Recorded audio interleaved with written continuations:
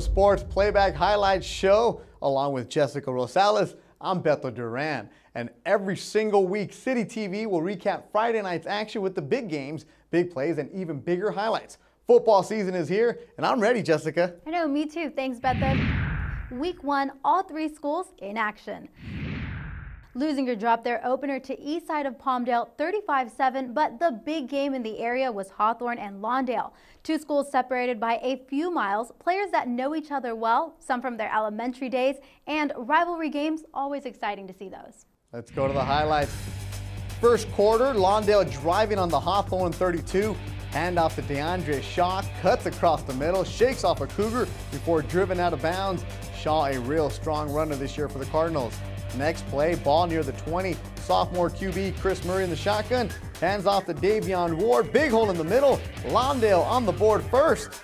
But Hawthorne answers back with senior PJ Washington hooking up with Jermaine Martin for a 30-yard TD strike. A nice pass there. First touchdown of the season for the Cougars, and they weren't done. Washington scrambles, shows athleticism, throws across the body, finds Martin again, this time for a 20-yarder. Hawthorne's on top, 14 to 6, their first lead of the year. But Lawndale has a skilled quarterback as well. Right before the half, the Cardinals answer. Corner into the end zone, touchdown Lawndale. We'll go to the break with Hawthorne on top, 14 to 12. Second half, both teams with strong defense. Nobody scored in the third quarter, but in the fourth, Lawndale took control. Seven minutes to go, and the sophomore put the Cardinals on top. Murray wasn't done, takes the handoff, goes right, weaves through traffic, untouched, his second rushing TD of the game, and the Cardinals take a 26 14 lead. Just when you thought it was over, it wasn't. Hawthorne has a new attitude. The Cougars, under first-year head coach Pazinger, has shown this team how to fight, and with backup QB in the game, Hawthorne drove the field for a touchdown. But too much Lawndale, the Cardinals beat Hawthorne 26 21. Lawndale now 1 and 1. Hawthorne falls to 0 and 2. Despite getting the win, Coach Matheson was not too happy with the performance of his team. He credits the defense for holding it together, but knows they play better than what he saw in those first three quarters. For more, we go now to Egidio DeLiu, who caught up with Coach Matheson after the game. I'm here with the Cardinals coach. Coach, first of all, congratulations, 26-21 win here over the Hawthorne Cougars. A big win for you guys tonight in your second game. Your thoughts on tonight's game? Ugly. It was an ugly, ugly football game. Um, we're a much better team than the way we played the first three quarters. Uh, five fumbles, miscues on kickoff, miscues on PAT. Um, they found a way to win it. The defense kept us in that ball game. Um, 26-21 doesn't reflect how well the defense played tonight. They got put in some bad situations, um, but uh, the only way I could describe this game is just an ugly win. I know a lot of mistakes there. Uh, fortunately for you guys, you did end up with the W. Speaking of that defense, though, your leader on defense, your senior Ryan Alexander. Talk about him a little bit in his action tonight, his, uh, his play tonight. You know, it's a, it's a, he's a super fast athlete. He plays at a high, high intensity, and sometimes it costs him to make a few mistakes here and there. But uh, he played his butt off. Um, the guys that really kept us in the game were uh, David, uh, um, David Tuyavai at the end, and our, our, three inside linebackers just flying to the ball. Um, you know, a few mistakes on defense, but that, that defense gets better and better every time they step on the field. And real quick, your quarterback, Chris Murray, only a sophomore, seems like a very smart player on and off the field, and just great for you guys tonight. Talk about him a little bit. Uh, a little too smart for his own good. Um, you know, you tell these kids to do one thing, and then they think about it and they overthink it. Um, I tell the boy, run the ball. He's got great feet. He's a great athlete, and he wants to sit back there and make the big throw. Mm.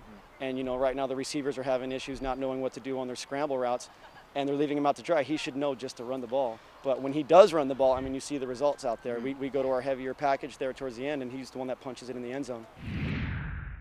And a tough loss for first-year coach Donald Pazinger and the Cougars, but the season is still early and he has high expectations for what this team can accomplish. Sebastian Spencer talked to coach about his expectations and thoughts on the game against the Cardinals. Coach, how do you think your team played tonight? We played okay in some spots. We, we played terrible in others. You know I mean? Lawndale did everything to give us the game, and we did everything to give it back to him. So Definitely. I know uh, one of your assistant coaches told me that you talked a lot about turnovers and capitalizing off that right. in the in the locker room. How did you how do you think they responded to that in the second half? Our team, my team, uh, they, we didn't respond to it. We, we, had a couple of turnovers, a couple of fourth, uh, fourth down stops, and didn't get anything out of it. So it was, it was, it was tough. And I know, also know was over there a lot looking at your players. I know you had a lot of injuries over there, a lot of people cramping up. I know Paris McDaniel had a couple injuries to the neck. So speak about that a little bit. Yeah, we have to address that uh, tomorrow in our meetings. We just had a lot. I don't know if it was injuries or hurt. Uh, I, I, have to check it out, talk to our, our trainer, and see what was going on. I really don't know the whole story with all of them. And I know this is your first year yeah. at Hawthorne, and uh, you guys have a good bunch of kids here that you talked about earlier. What do you look to accomplish in this season for these kids? We're gonna keep plugging. We're gonna keep. We're gonna keep working. Our goal at the start of the season was to win the Ocean League title. I'm, I'm glad we got five preseason games to work on some things to get to the Ocean League. And an exciting week two coming up for high school sports. To start, 0-1 Leuzinger travels to North Torrance to take on the Saxons. Both teams will be fighting for their first win. In our featured game of the week, the Lawndale Cardinals will be hosting the Monarchs of Morningside. Lawndale still fresh off that close win over Hawthorne, hoping to have a winning record of 2 and 1 by the end of the night.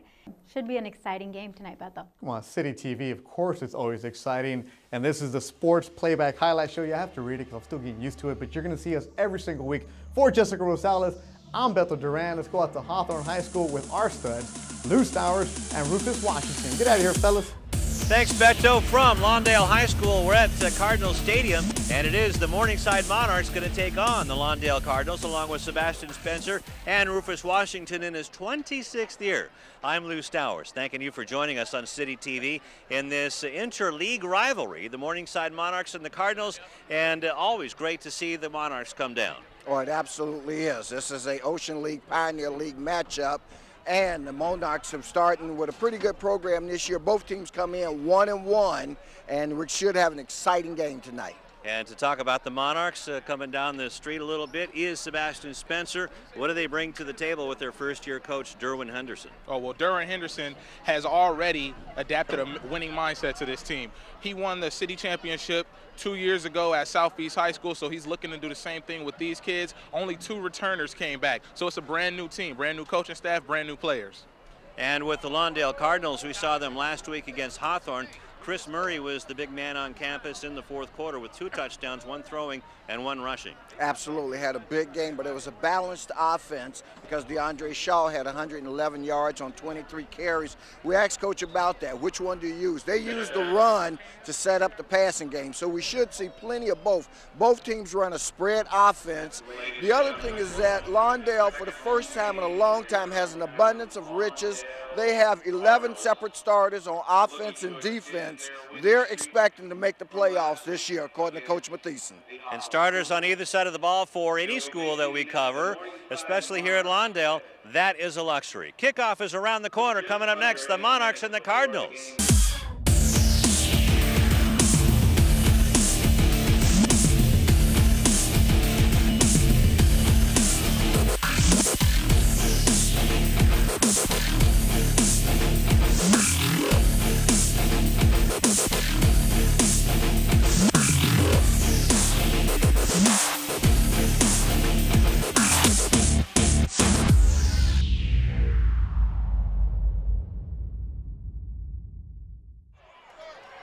After our national anthem, sung by Christine Gonzalez, as she walks right by broadcast position. Terrific rendition. Isaiah Torres, DeAndre Shaw, and number 44, Bo Estaya, the captains for the Cardinals, meeting the Morningside Monarchs. And let's get to the coin toss right now from Frank Obregon. We'll have zero tolerance for anybody being a knucklehead tonight, all right? We have a problem, we're going to talk to you, we're going to work with you, but please play the game hard. We'll let you play hard, we'll let you play, but we expect good sportsmanship. Reasonable? Is that fair? Okay. Lawndale, you guys are the visiting team tonight. I excuse me, Morningside, you're the visiting team tonight, so I'm going to have you call the, the coin toss from the in the air. Are you going to be our spokesman? Fair enough. Guys, take a look at the coin. There's a head, there's a tail. Okay, I'm going to flip the coin. Once you call heads or tails, if I drop it, we'll do it again. All right? While it's in the air, please. Heads. Heads is the call. It is a tail. folks have won the toss. What would you like to do? Defer. You have deferred. Okay, just give me a second. Gentlemen, has won the oh. toss. They have deferred.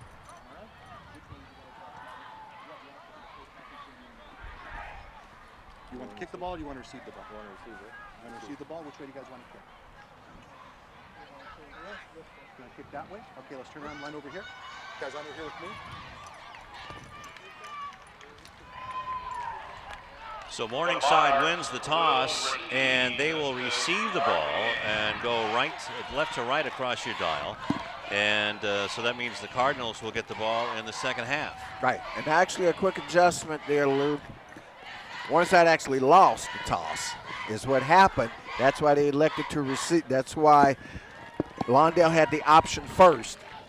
And of course, that left uh, no choice but for them to kick it out. For, So- uh, they'll be kicking because they elected to defer. So just about ready to get things underway. Kevin Del Cid will kick the ball off for the Cardinals.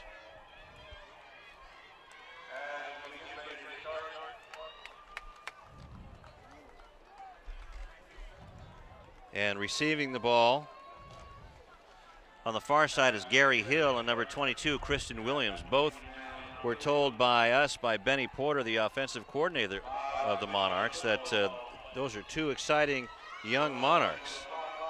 Exciting with a lot of speed. Both were CIF finalists in the 100 and the 200, and were just a couple of seconds, a couple of tenths of a second away from going to state championship. Here comes the kick. And that's actually Richard Fitzgerald making the kick. Gary Hill gets the ball. Hill waiting for blocking. He gets straightened up right at about the 30 yard line. And it'll be first and 10 for the Monarchs right at the 30 yard line. So good field position for the Monarchs to start the game. Just to give you a little background about them in terms of what you can expect tonight, they run a spread offense, so that means you should see at least three receivers, if not four, in the pattern. Maybe a back. They do feature uh, a back. Their running back last week was Christian Williams. He's number 22. He had 155 yards on 10 carries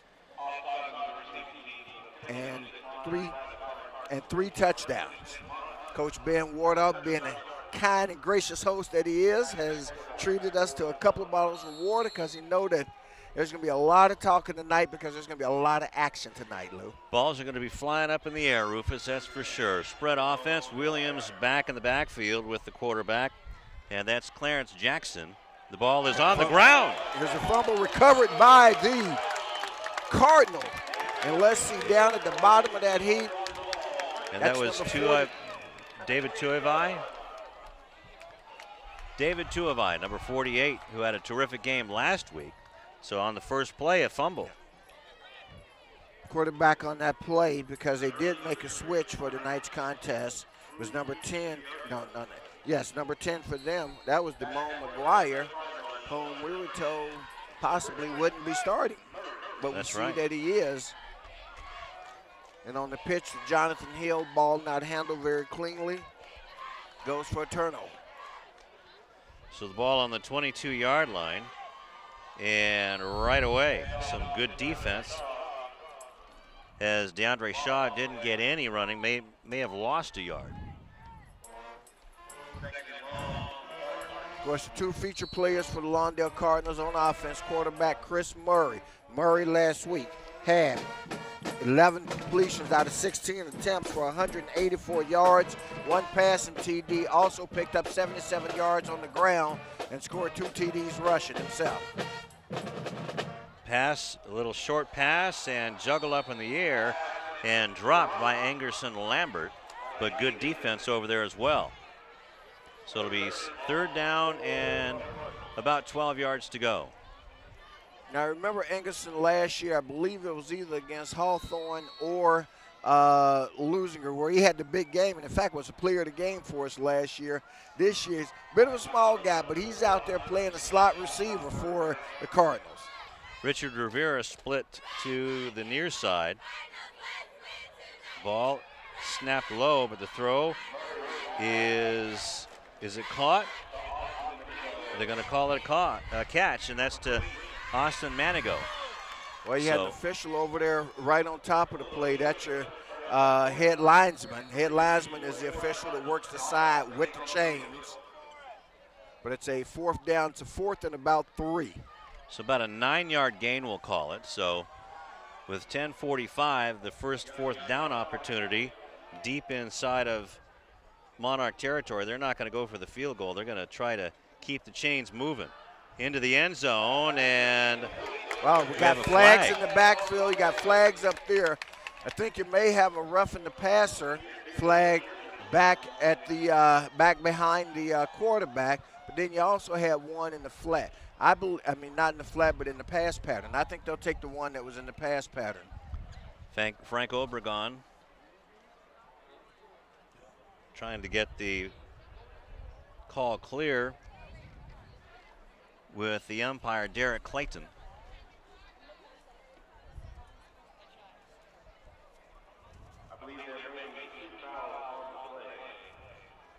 So 10:34 left, and the pass was intended for Lambert over the middle, but uh, it looked like he got hit before the ball even got there.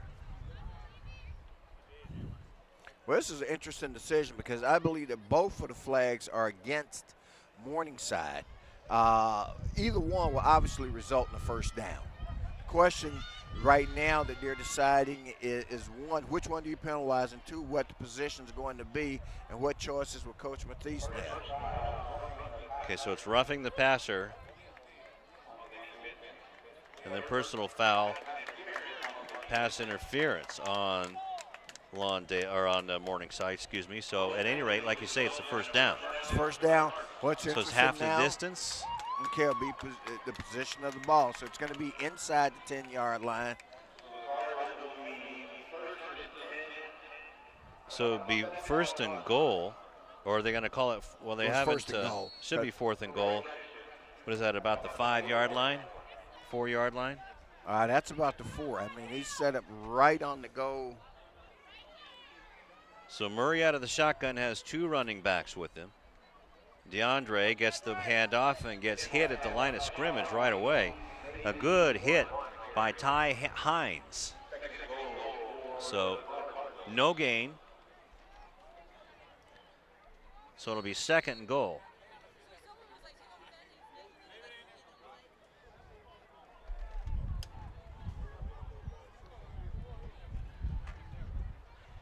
Big line for Lawndale. They're going to be tested tonight against these Monarchs with a lot of quickness. Fitzgerald gets the ball, trying to find the end zone. And maybe gets two yards, Rufus. Might be third and goal from the two.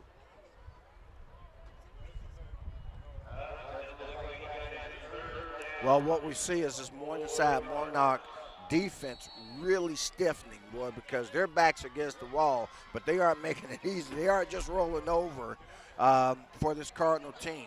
Cardinals right now trying to cash in that, that fumble recovery that they had deep in Monarch territory. DeAndre Shaw and Fitzgerald there. Fitzgerald gets the handoff and That's burrowing his way towards the end zone, and it is a touchdown for Lawndale.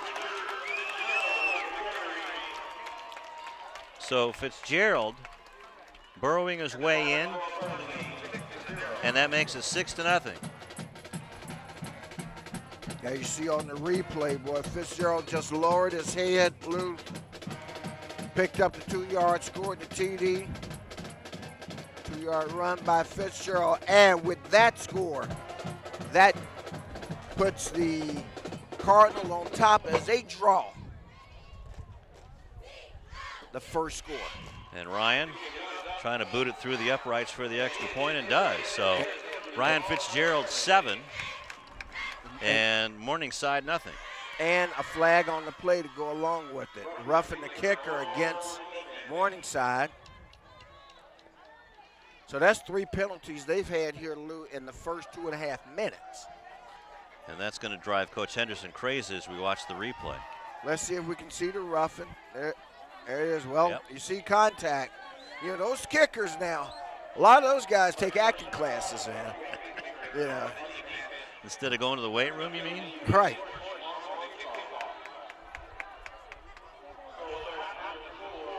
So a seven play drive, and that went 22 yards.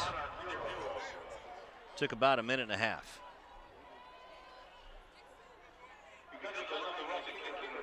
So now the Cardinals will have a major advantage as you see Richard Rivera cheering his buddies on. So look at that, they're in Monarch territory for the kickoff, Rufus. They're going to kick off from the 45 yard line. That's Fitzgerald lining up to kick. Obviously, you know by now, he's number 28, Richard Fitzgerald. Running back, senior, also the kicker.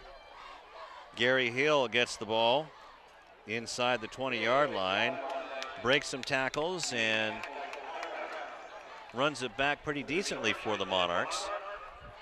It'll be first and 10. Finally right around out, the 30 yard line. Forced out of bounds by Pablo Rodriguez.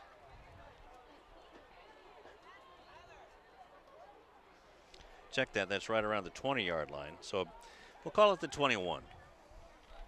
Give credit on that play to Ryan Alexander as well. And we saw Ryan have a couple of big games last year also for the Cardinals. So they've got a number of weapons, this Cardinal football team. And now Clarence Jackson is at quarterback for the Monarchs. Low snap, but the handoff is to the running back. And that's Kristen Williams. Williams broke tackles, Rufus, and he's got those strong legs and just kept churning for a first down. And that's a name you're going to hear a lot tonight, fans. Kristen Williams, number 22. So a timeout on the field by Lawndale. Coach Matheson maybe didn't see uh, something, saw something he didn't like. So that was an 11-yard gain and a first down. So 32-yard line for the Monarchs. So while the Monarchs are out there, their center is Oscar Gomez, just a sophomore. The anchor of that offensive line is Anthony Moran, Damon Jones, Amaz Ferguson, and Ephraim Fitz. And uh, we're told that he gives fits to defensive linemen. They say he's one of the best. And of course, the leader of um, that Cardinal defense, and we'll get to that in a moment.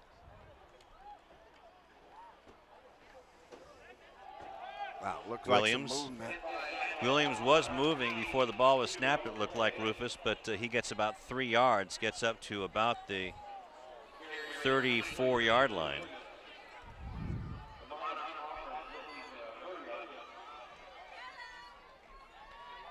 So a two yard gain.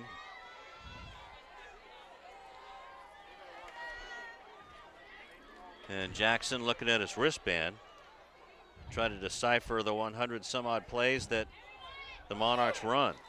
Wow. And that Yeah. was a lot of movement there, Rufus. Well, that time they got him. Quite frankly, that was the same thing they did on the play before that, where we thought that there was movement.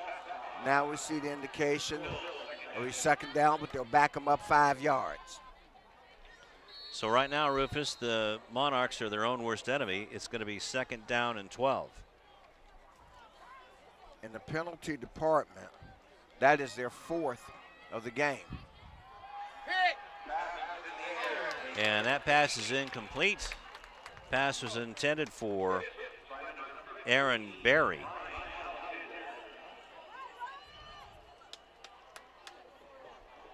But check that. That was intended for Jaquan Jackson.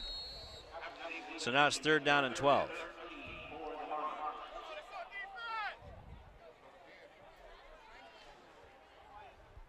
From the 29 yard line,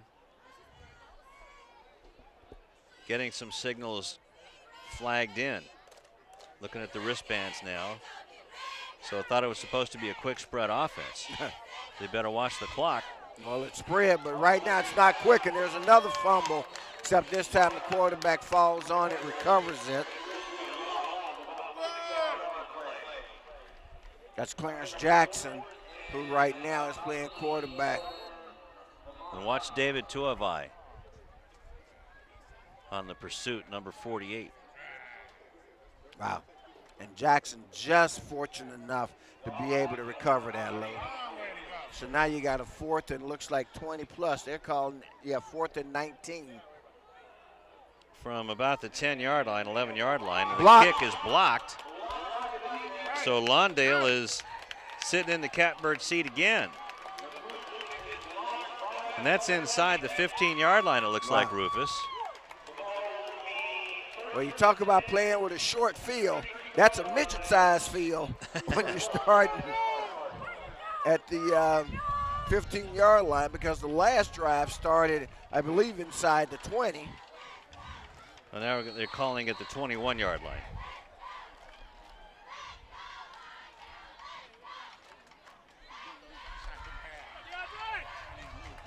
Hand off to Shaw. He picks up a couple tough yards as he moves inside the 20.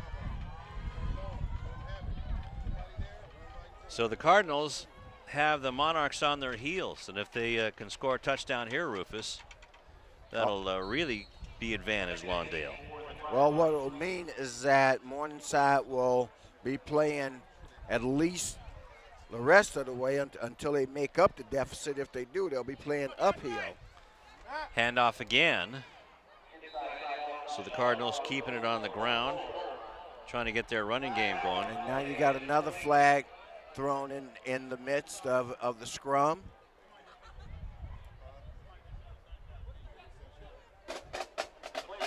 So Shaw getting another three yards. So it'll be third down and six.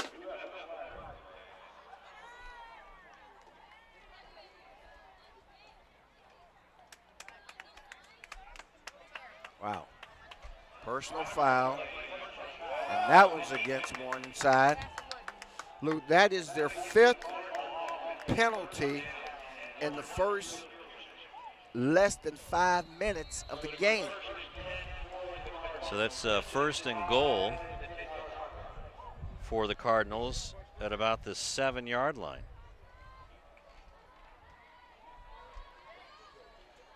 So right now the Cardinals are getting a lot of gifts. There's Fitzgerald finds a nice hole and he's rumbling towards the end zone. Wow. Did he get there? Just missed it, Rufus. No, no signal that he did, so that means, boy, he's got to be on about the one yard line, Lew. So Richard Fitzgerald really getting down low. And just waiting for the man with the yard marker to move. He's right on the goal line, Rufus. So we're going to call that a six yard run. Yeah. I mean, that's less than a Fitzgerald. yard. Murray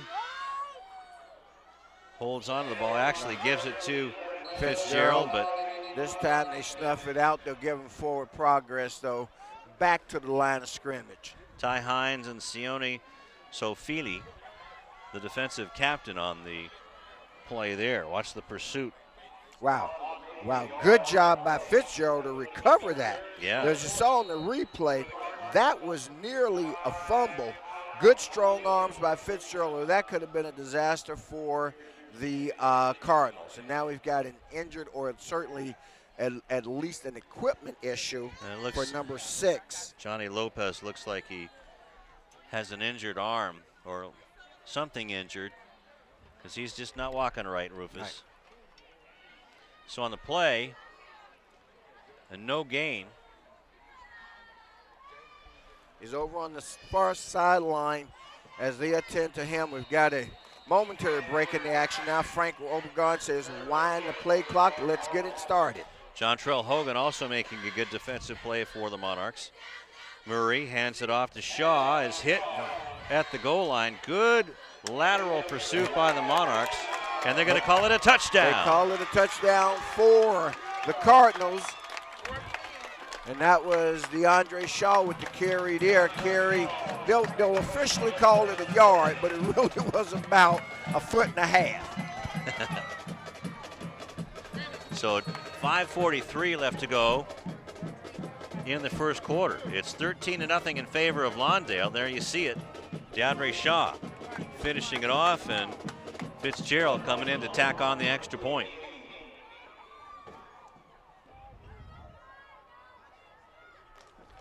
Snap back ball down. The kick Wow, is no good. no good. So 5:43 left to go in the first quarter. It's 13 to nothing. So that's the only silver lining in this cloud, this uh, storm cloud for the Monarchs, is they did not uh, give up the extra point.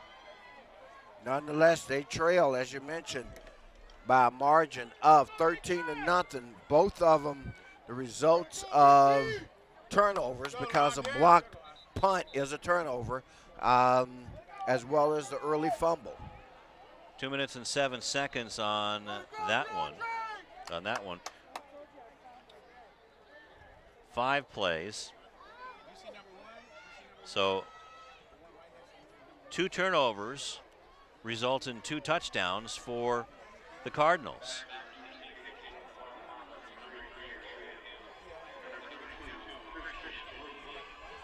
So as the Cardinals prepare to kick off, that's Fitzgerald who handles the kicking duties. The Monarchs will be taking their third crack at getting going. They've yet to even pick up a first down. So a whistle on the play by the line judge.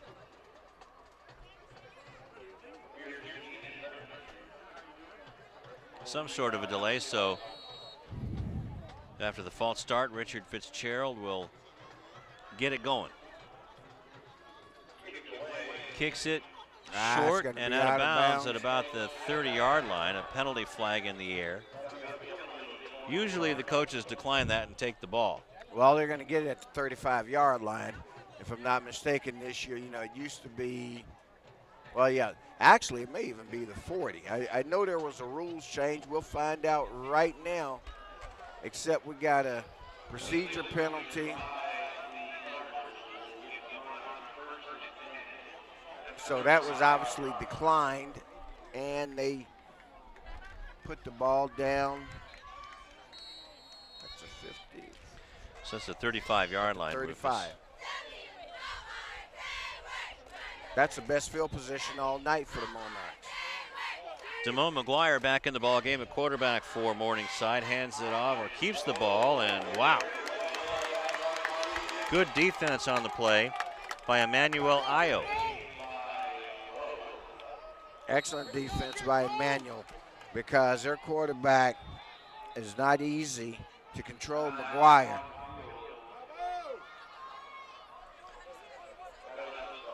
So the Monarchs take another timeout. Or is that their first one? I think that's going to be their first, and if I'm not mistaken, the first time out of the game was charged to the Cardinal. So there's, I believe there's been three timeouts tonight.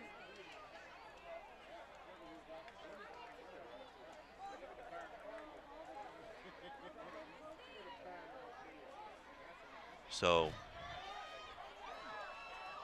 our guys and the geniuses in the truck thinks it's a couple of timeouts. We have our timeouts right. listed on our new graphics this year, Rufus. Ah, okay.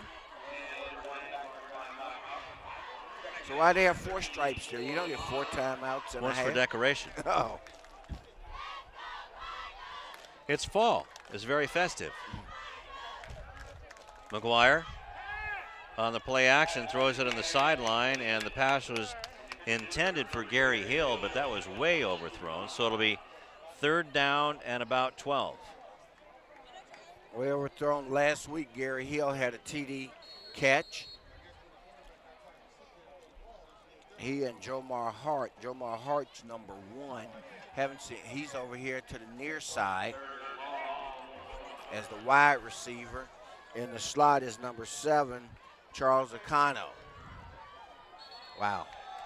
Oops. Nakano and Hart jumped the gun. So five more yards will be stepped off towards the left. And it'll be third down and about 18.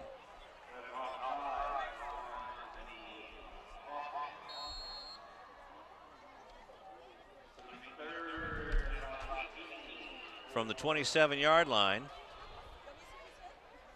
And this is definitely not the way Coach Henderson envisioned this one.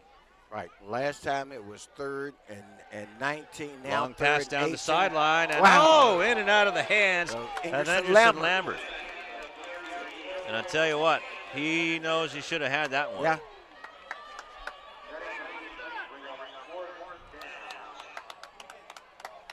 So good looking pass by the quarterback, Damone McGuire. It was tipped just at the last minute, looks like, Rufus, Yeah. by Gary Hill. Well, it came off his receiver's hands and into the hand, in and out of the hands of Ingerson Lambert. So it looks like they're going for it on fourth down, Rufus. Fourth and 18. Well, that's a So lot of heart. Down the sideline again and out of bounds. Is there a flag? No, there isn't. The pass is intended for Jaquan Johnson. Wow. And so inside the 30, near the 25, it'll be first and 10, deep again in Monarch territory. So that only took 30 seconds, Rufus. So let's see if the Cardinals can take advantage of this one. This is their worst field position at the 27 yard Right. line.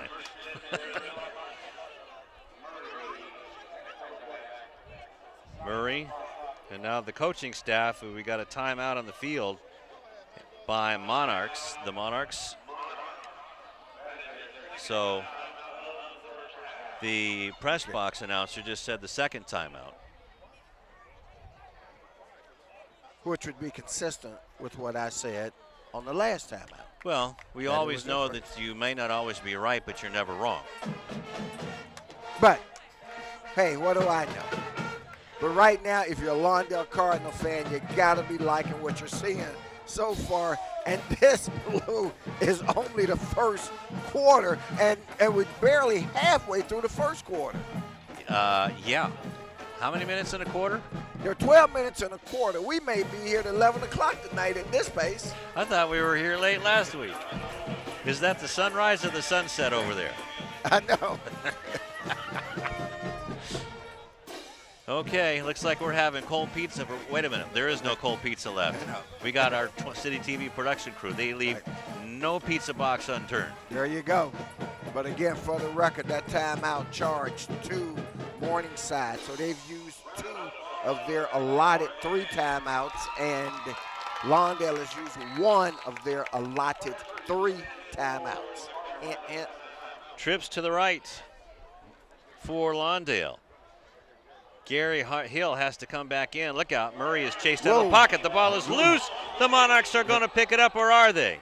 they will. Now we have a fumble, a penalty flag there as well. That ball came squirting out. And I believe the ball was recovered by John Trell Hogan. So Murray fumbled on the play on the quarterback draw, straight up the middle. We'll see that on the replay. And then we saw a flag come in late. So now there's a discussion about what the uh, flag is about. And let's see what Frank Obregon, the white hat, tells us.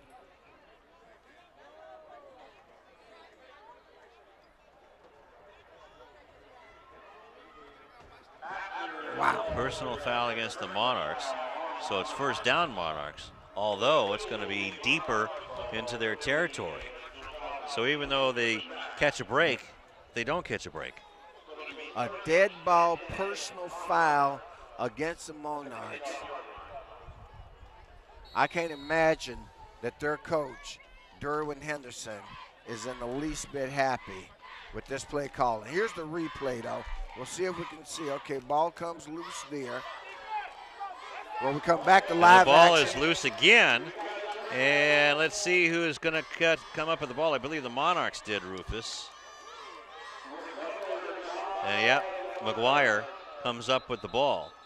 But the original line of scrimmage for them was the nine yard line. Ball- And the ball goes all the way back to the goal line. That was almost a Yeah. safety. Almost a safety, and you're right. It goes, it came loose there. That was number 22 losing control of the ball.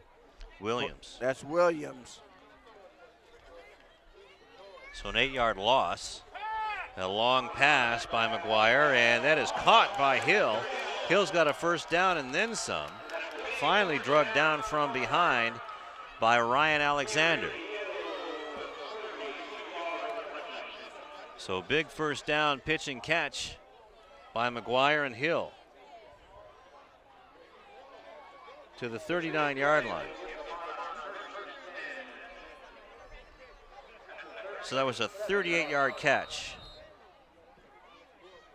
First completion of the night for the Monarchs. And again, and guess who it was to? Gary Hill. Bad snap. McGuire trying to get some yardage and does after snaring that snap. Gets across the 40 yard line. We'll call it the 41. So on the busted play, a two yard gain for McGuire.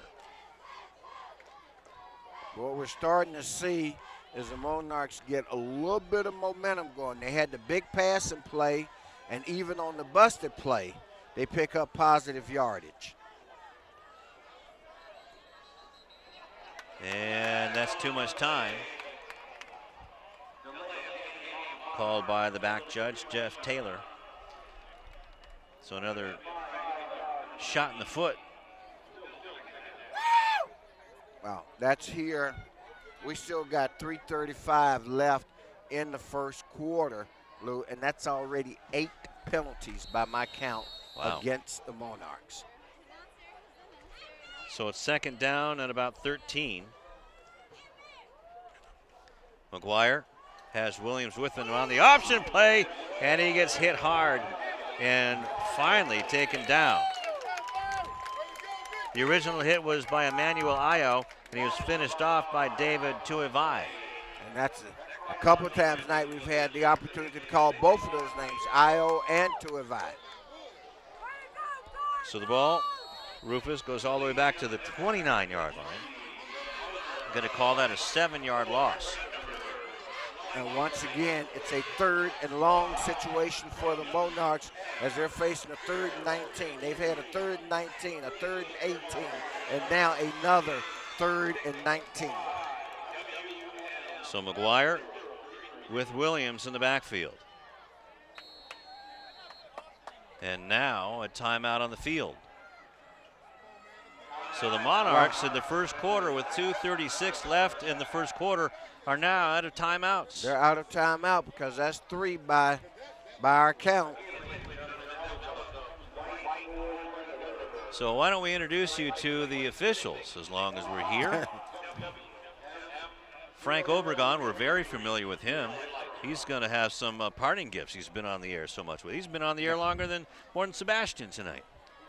Frank's also the just finished a term as the president of the California Basketball Officials Association for the entire for the entire state. And a nice man as well. Derek Clayton is the umpire. Head linesman is Dimitri Upshaw. Line judge is Michael Wainwright. And the back judge is Jeff Taylor as we see the head coach for Lawndale. That is Rick Matheson. Last year, the Monarchs were two and three in Ocean League and five and five overall.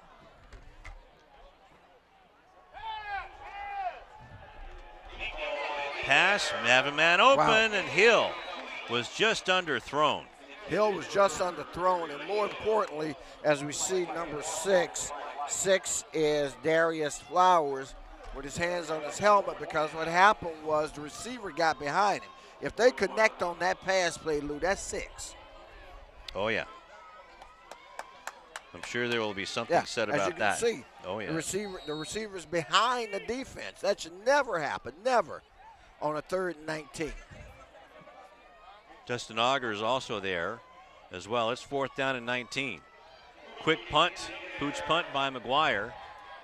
And the Cardinals will just be happy to let it bounce, thank you very much, as Lambert lets it touch there, and it's down by the Monarchs, and it'll be first and 10 at the 36-yard line. Let's go to Sebastian. Hey, thanks a lot, guys. Before the warm-ups, I heard Coach Darwin Henderson telling his team that our mind is not on football right now. A lot of his players were in the pregame messing around, and he felt like they just weren't getting down to business with their stretches and everything to get them ready for the game. And it showed from the beginning of the game. They've turned over the ball to Lawndale three times on the 36-yard line, the 22-yard line, and the 26, putting the offense in perfect position to score without even trying. Let's see, can they get it together, guys? Back to you. The defense uh, tried to stop Shaw, but Shaw is off to the races. Shaw spin, uh, spun away from the line and finally is out of bounds. And we're going to get another personal foul call, a late hit out of bounds. And that's down to the 30-yard line of Morningside and attack on another 10. Okay, on, on a drive that started at the 36 the midfield is 14. Okay. So 30 yards, 30 plus. That's 44. So it's a 44-yard run. Now let's see Look how at Murray blocking downfield too. So a terrific play. So personal foul on Morningside.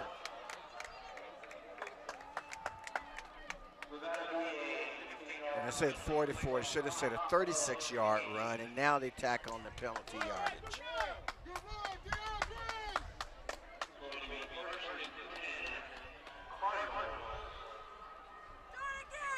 So 34 yards on a first down, so 54 of uh, 44 yards net. Exactly. Ball's inside the 20, looks like what would be about the 15 yard line.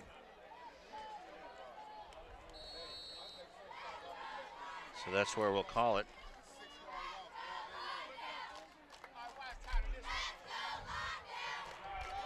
So Murray keeps it, trying to get around right end, and another penalty flag, Rufus. It's a five yard gain, and that's a hold on Lawndale.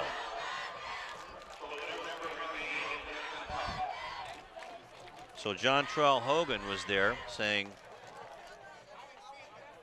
waving his arms.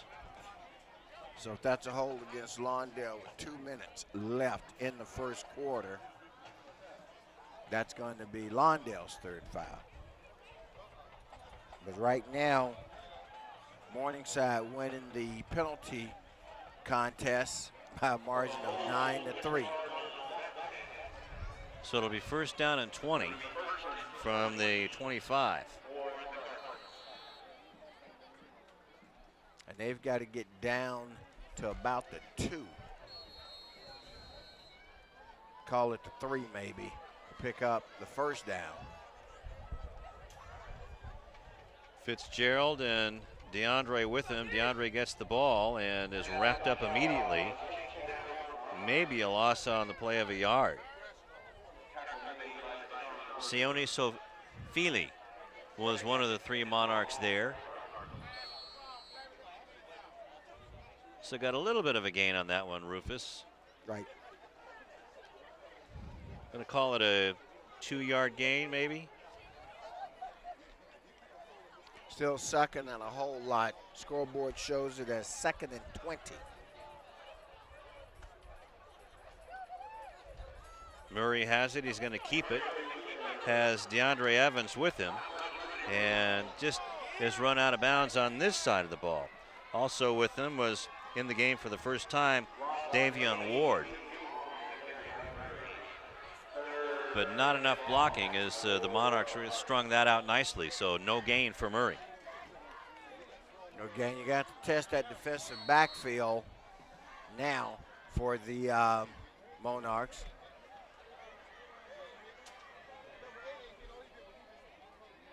Ingerson Lambert comes in. He's one of the three split to the right side. Richard Rivera, the lone wide receiver on the left. And now we have a timeout taken, and that has to be on the Cardinals. Has to be, and it is. So Coach Mathieson trying to see the defense and trying to figure it out because he has two plays to get a first down. Because I'm sure we're in four down territory, but the Well, we're certainly in field goal territory if you if you've got one of those that you got confidence in. Kevin Del Cid was listed as the kicker, kicker number 27, but Richard Fitzgerald has been doing the kicking tonight. So we'll have to see what that decision is. I would think you'd want to at least put some points, of, uh, put Right. some Oh, you distance between you and the. Monarchs. Murray looks to the right side, and that was almost picked off. There was nobody there. Lambert had already passed the intended um, point of the reception wh- where, where his quarterback was expecting him to be.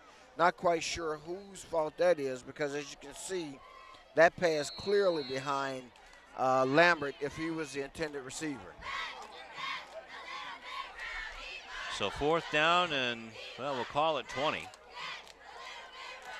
Murray back to pass and nobody there. Oh, gets out of the clutches and then somebody loses their helmet. A Monarch loses their helmet. That was Hogan losing his helmet. So the Cardinals turn it over on downs But with Mar- 49 seconds left in the first quarter. and Murray on the scramble stepped right into the teeth of the defense. He escaped the first two pursuers, but you see him collapsing around him. And number 21 for the Monarchs, that's John Trail Hogan. Hogan brings him down. So call it the 26 yard line.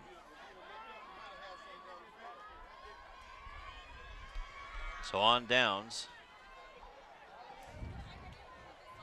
And Damone McGuire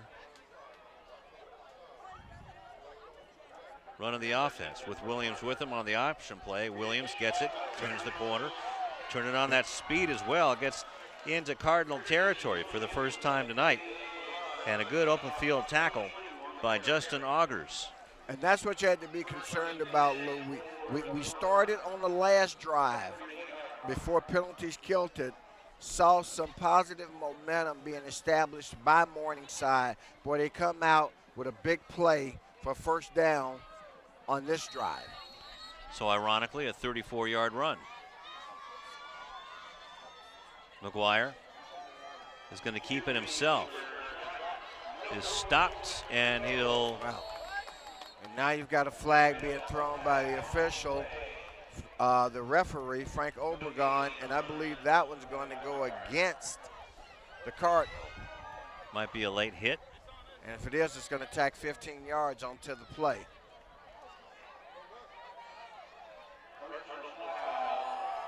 Blow to the head. So first down. So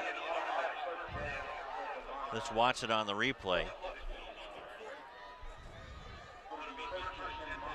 Goes down to the 34. Want to see the blow. There it is. Yeah. Yeah, it wasn't a big one, but it still counts. So from the 34 yard line,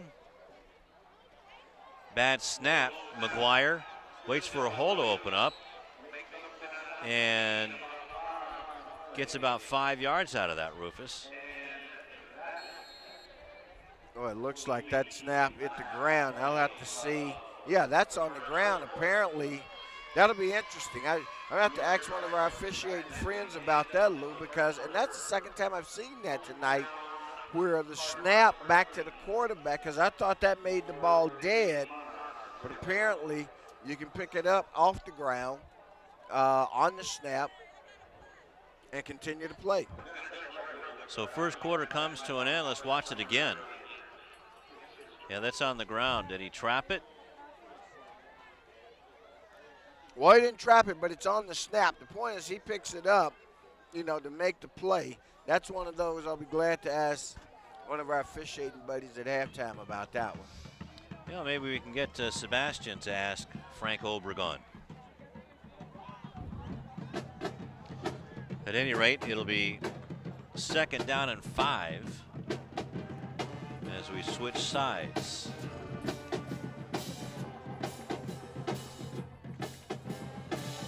Lamaz Ferguson, six foot three, 260 pounds. Saw him stand up, Rufus. He's every bit of 260.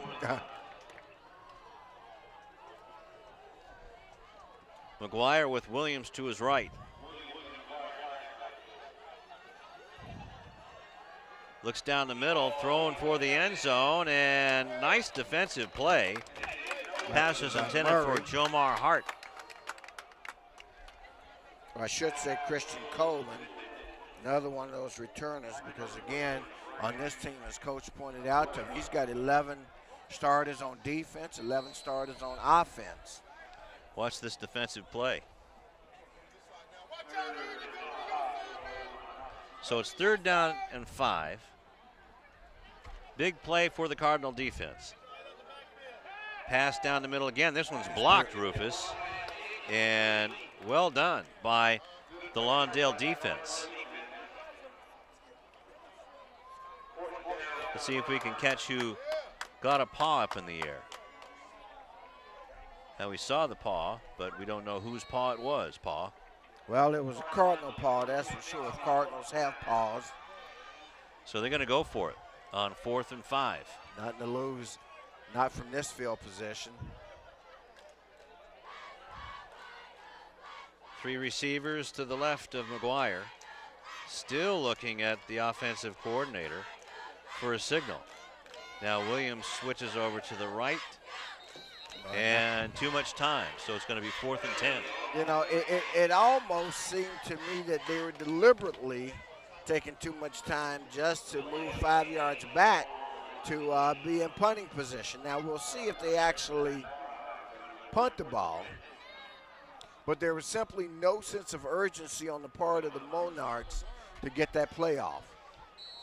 Well, unless McGuire pooch kicks it again, they're still in an offensive formation.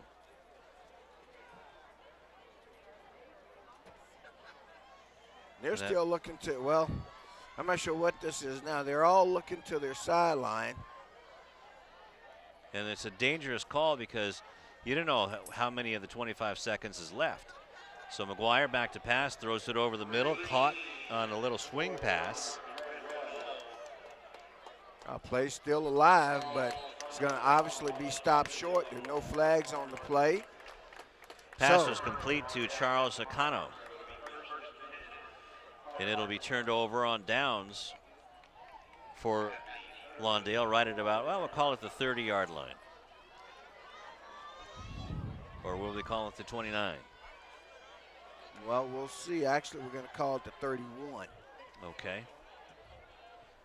31 it is. Because they're on the yard marker anyway is on this side at 30, but the football, well, let me let me stand corrected. I mean, the football is an entirely different place now. They look like they're in the same place. okay. Okay.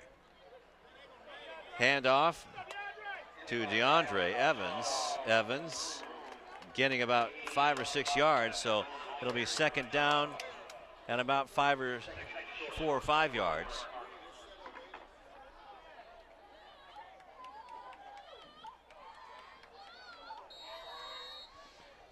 There you see Shaw there breaking a tackle. So five yards for DeAndre.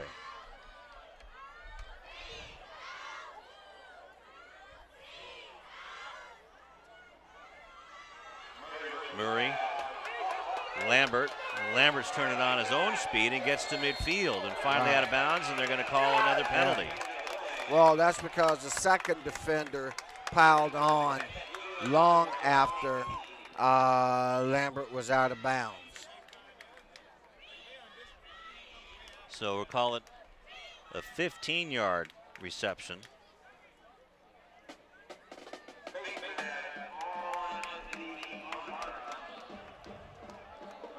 And 15 more yards gets it to the 34 yard line.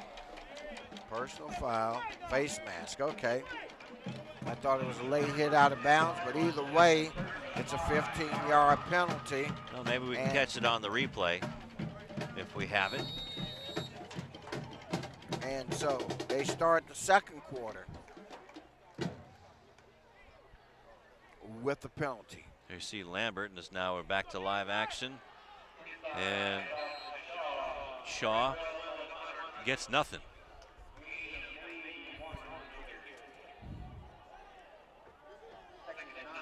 Ninth carry for DeAndre. And good defense up front. DeAndre comes off to catch a breather. We'll see who they line up in the backfield this time. Looks, looks like, like Ward. Davion Ward, it is, number 32. Trips to the left of Murray. He keeps it. Murray waiting for his blocker and gets inside the 15 yard line. And a good block down the sideline by Manigo. And a first down for Lawndale with 10.51 left to go in the half. Nice fake handoff.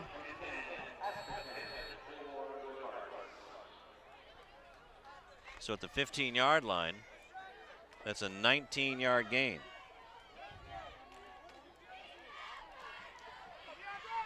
DeAndre Shaw trying to get out of the shoestring and just couldn't do it.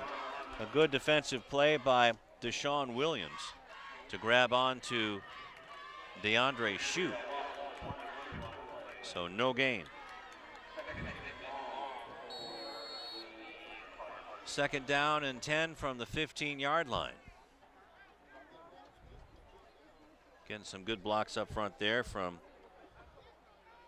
Stephen Almada. Murray back to pass, looking to oh, over the middle, and that one was almost picked off, Rufus, as the ball was intended for Anthony Gray. We had Gray coming across the middle, but his outside receiver was also open. We don't see it on the replay. And in fact, that's why I thought he was going to go to the outside, Lew, but they, they went for the slant. So now it's third down and 10 from the 15. Need to get to the five, and now it's going to be third and 15. A whole host of Cardinals left the flock in a hurry. Oh, they're going to call it on the Monarchs.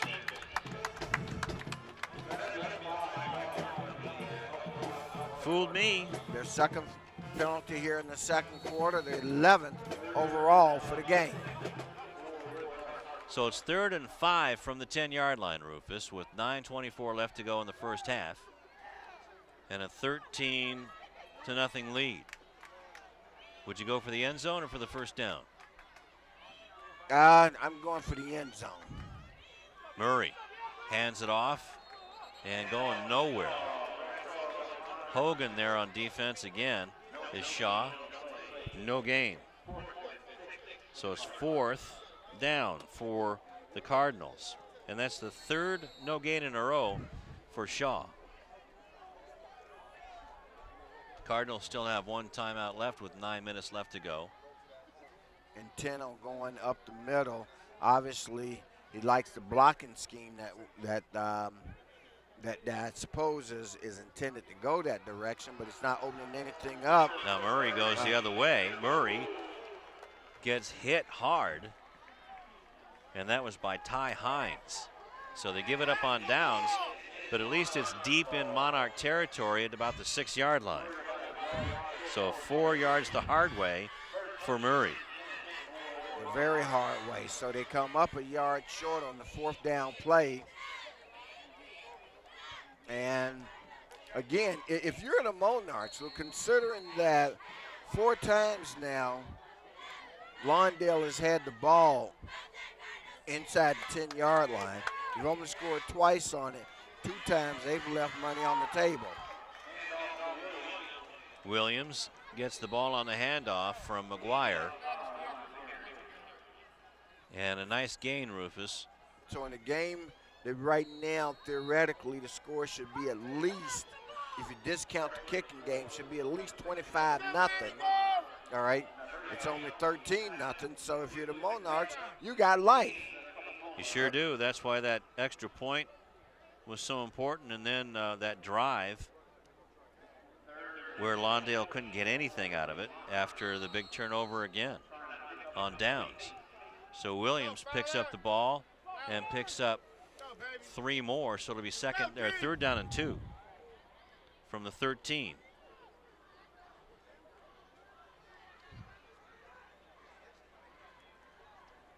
7.46 left in the half. And a handoff again. or no, it wasn't a handoff. It was a keeper, but the Cardinals were all over McGuire like he was a, a pack of suet on the on the eaves out there at springtime. There you go. Whatever suet is, I guess it must be oh, good. Come on now. you don't know what that is? Being from the South? Suet, you got me. But now we might call it by something different. So no gain on the play. A lot of arm tackling right there by the Cardinal defender. Hate to call him out, but I will. That's Ryan Alexander. That's a name that's very familiar to the fans here. Mario Chiora. City TV. Making a good shoulder tackle. And now Isaiah Thomas on the pooch punt that's straight up in the air. And that's going to be downed. Another good field position for Lawndale. And they really need to cash this one in with 6.46 left to go in the half. Yeah, I mean, yet you talk about an abundance of riches in terms of field position. That punt by McGuire, who's also the quarterback, boy, I don't know, what was the net on that thing? Eight yards.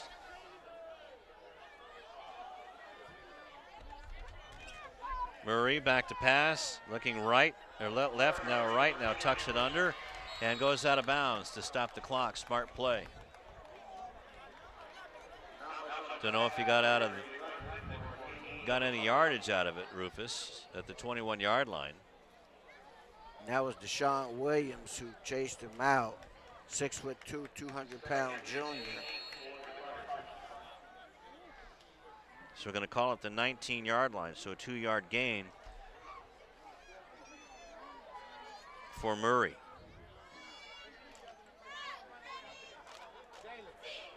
Hand off to Shaw. Shaw gets a hole. Shaw gets good yardage. And finally wrapped up inside the 15. We'll call it the 14. So it'll be third down and about three yards to go, Rufus. Third and three. Again, as you said, as you said before, two down territory.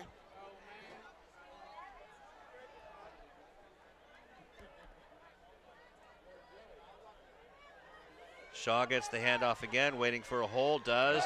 Should have the first down right at the 10 yard line, Rufus. I think he's going to have it on, on this carry, Lew. And that's a signal from the referee. So it's going to be first and goal. So first down for Evans as he got bopped in the head by Jose Mejia and wrapped up by Hogan with six minutes left to go in the first half, clock rolling. First and goal. Murray over the middle, has a man, caught. Touchdown. And is it a touchdown? No signal yet. No. Okay, they're going to say he was Anthony down. Gray. And of course, you don't have to be down by contact. But they're saying in the act of catching the ball, he went to the ground, and so he was automatically down, even though the reception is good. Going to call that right at the one yard line, Rufus. Wow.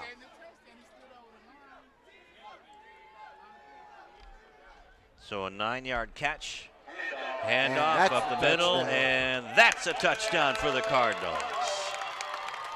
19 to nothing, Lawndale. And, and that was Davion Ward burrowing his way into the end zone. 532, 22, I should say, of the second quarter. So that's exactly what Lawndale should be doing is taking advantage of all of these turnovers and lack of execution by the Monarchs. Well, on that possession, they did, look. Of course, they got it with excellent field possession, but nothing new there because they've had it. This time they're going for the two-point conversion. And, and it looks is like good, they but got it. There's a flag on the play. Let's see what the flag is.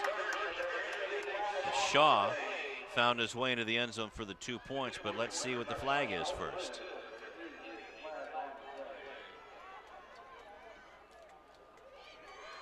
Frank Obregon talking it over. They no wait. flag. So the two-point conversion is good, and it's 21 to nothing in favor of Lawndale, Rufus.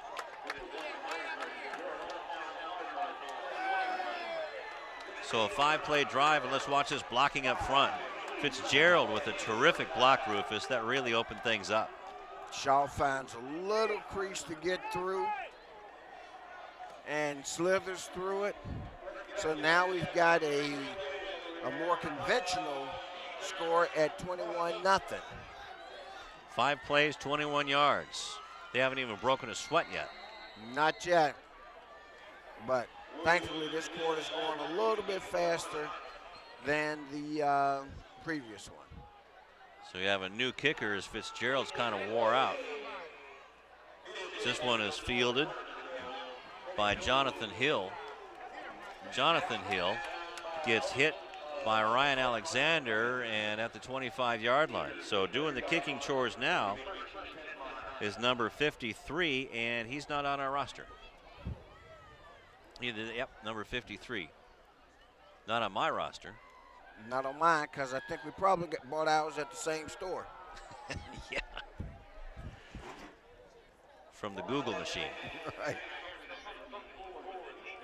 So 5:14 left to go in the half. The Monarchs have the ball. I'm going to call that their own 29 yard line, 30 yard, 29 yard line. McGuire still in at quarterback. And the snap goes over his head. And a nice heads up tackle by Io. He's all over the place tonight, Rufus. Emmanuel Isle indeed has been. And that goes all the way back to what, the 17 yard line? Here we see it was a high snap. Can't charge that to the quarterback. McGuire, heck, he does a good job of saving the possession. So an eight yard loss. So second down and 18. Actually, it looks a little more than that. Yeah. Another high snap. And Williams has it now. Watch him run. See if they can catch him. Gets back into positive territory, back to the 30 yard line. Yeah, he gets back to, gets beyond the original line of scrimmage.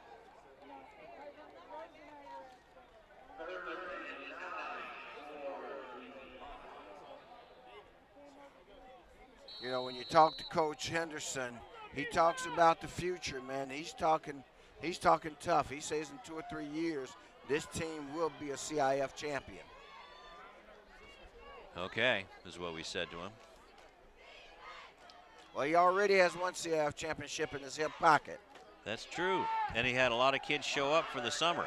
Pass down the right sideline. That's caught. That's going to be good enough for a first down, Rufus. And look out. That's dangerous territory. Now we there got we go. more flags. There was already an initial flag, Lew. So here's what we got. We're going to have two foul, two separate fouls on the play, I believe, because you have one. Because this second one, believe is going to be a dead ball foul.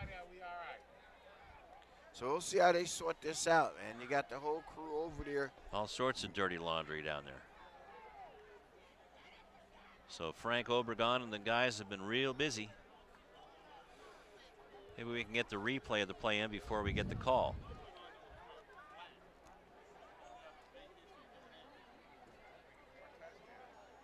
Ask and ye shall receive.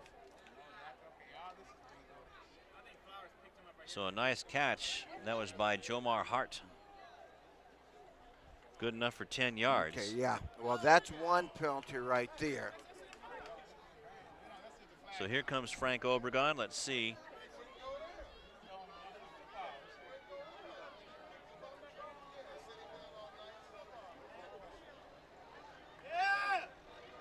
An eligible man downfield, is that what that is? Yeah. Personal Dead foul ball, personal foul. against Lawndale. So are they offsetting? So we're going to replay the down or what are we going to do? Well, I'm going to watch and find out with you.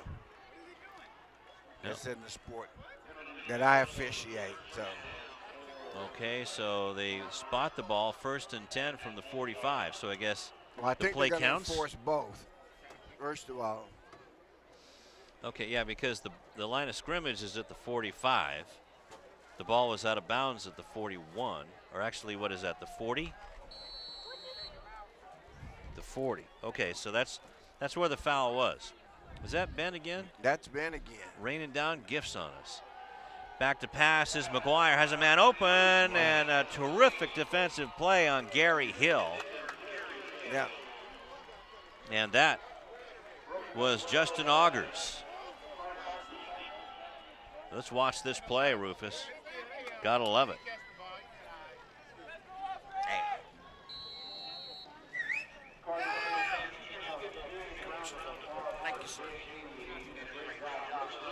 Coach Benny taking care of us, keeping us There you fat go, and happy man. up here. I, I- I see why we've been over here three weeks in a row.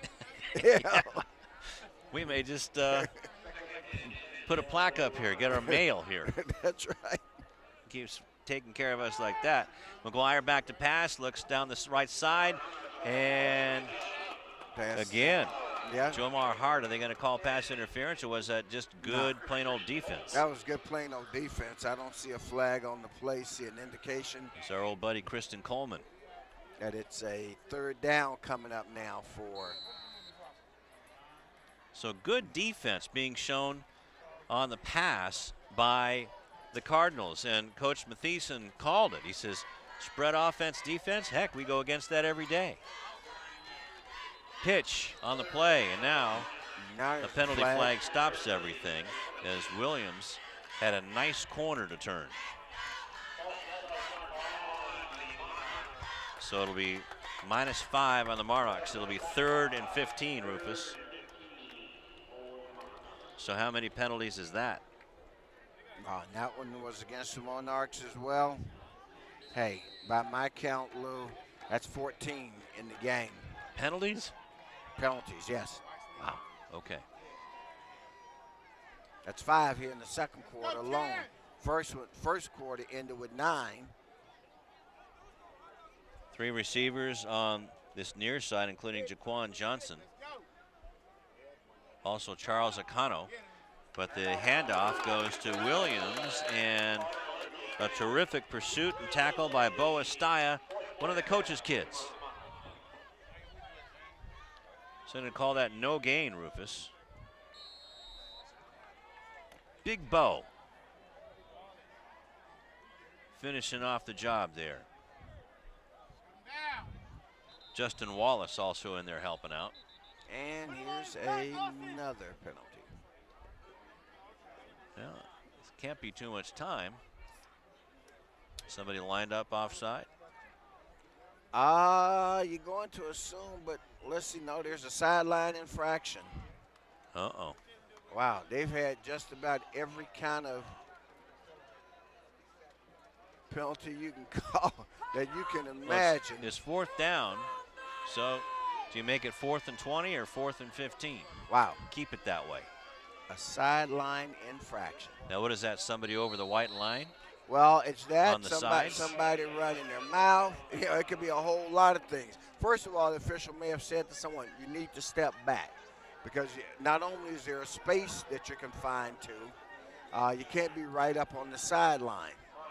Play action, and that's caught by Hart. That's going to Yeah. be a first down. Wow, what a fake by Yeah. McGuire, who faked the handoff to Williams and threw it down the middle. Jomar Hart with the catch, Rufus, at the Lawndale 45 Yeah. yard line. And 44-yard stop line. for Lawndale is Coleman, but a little bit late. He went for the tackle instead of the breakup of the pass.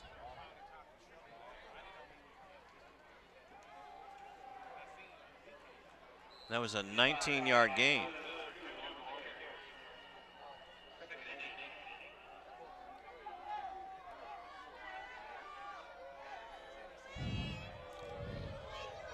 So the handoff went to Williams, and he got back to the line of scrimmage and was finished off by Isaiah Torres for a one yard gain. So two minutes and 17 seconds, clock rolling, second down and eight for McGuire and the Monarchs. Williams looking for a hole, starting to get some holes now, Rufus. Starting to get some, starting to pick up some And rhythm. Now they're in their two-minute offense. So now they're at the uh, 40-yard line. So going to call that third and a long three. We'll call it four. Man, Three that- yards for Williams. That big old lineman. And then the 6'3", 260. That's number 70, Ferguson. He is all of that. There are some wide rear ends down there. McGuire passing long down the right side, looking for Hart, and underthrew him. As Hart got by Kristen Coleman. Well, he got by but but his quarterback threw the ball over the wrong shoulder. His eh, the receiver looking for which direction that pass was coming in.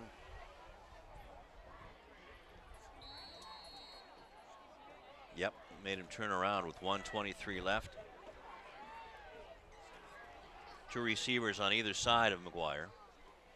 The second quarter's moved a little bit quicker. That first quarter took 45 minutes to play. McGuire, oop, the the snap goes right to Williams, and it goes pops Wow. right into the hands of Lawndale. With the ball going downfield is Darius Flowers into the end zone. Touchdown, Lawndale. 27 to nothing in favor of Lawndale, and Flowers with the run. That's 50. That's maybe 60. We'll see where the original line of scrimmage was. So was. 41 yard line, so that's 59 yards. Oh, wait a minute, check that. 60 yards even. So 60 yard fumble recovery, and Flowers into the hizzy. Fumble return. Flowers.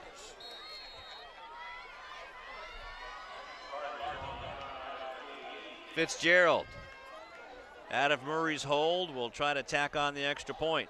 Blocked. Well. Okay. No good. That is our early signal that it is good. But the six makes extra point is no good. 27 nothing.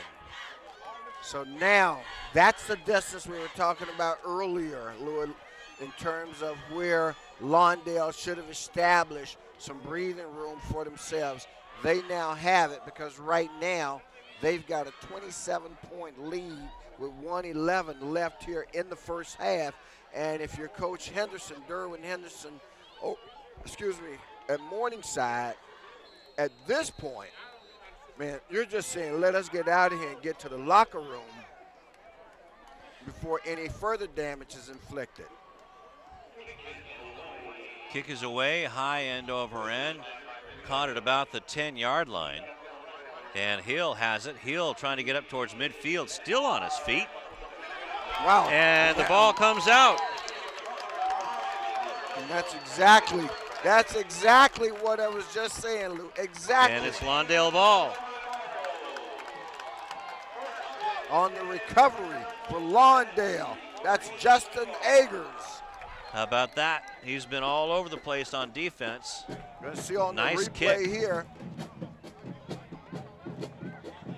Return man with it. That's Hill, who we've talked about so much with all the speed. Wow. Number 43 there. And you causing see the the ball come loose. I mean, that's a clean fumble. Justin Wallace. Shaw gets hit in the backfield. Crowd not happy with the play call, with the conservative play calling of Coach Rick Matheson. They want, they want it. Right. They want it now. And, you know, to some extent, I think you're right. I mean, you know, you put as many points up as you can And there's the the, defensive specialist. of the game. Sione Sofili loses a yard and offside.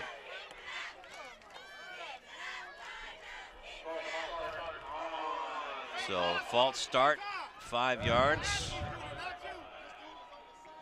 So it'll go back to Lawndale territory to their own 47 yard line, 48 yard line.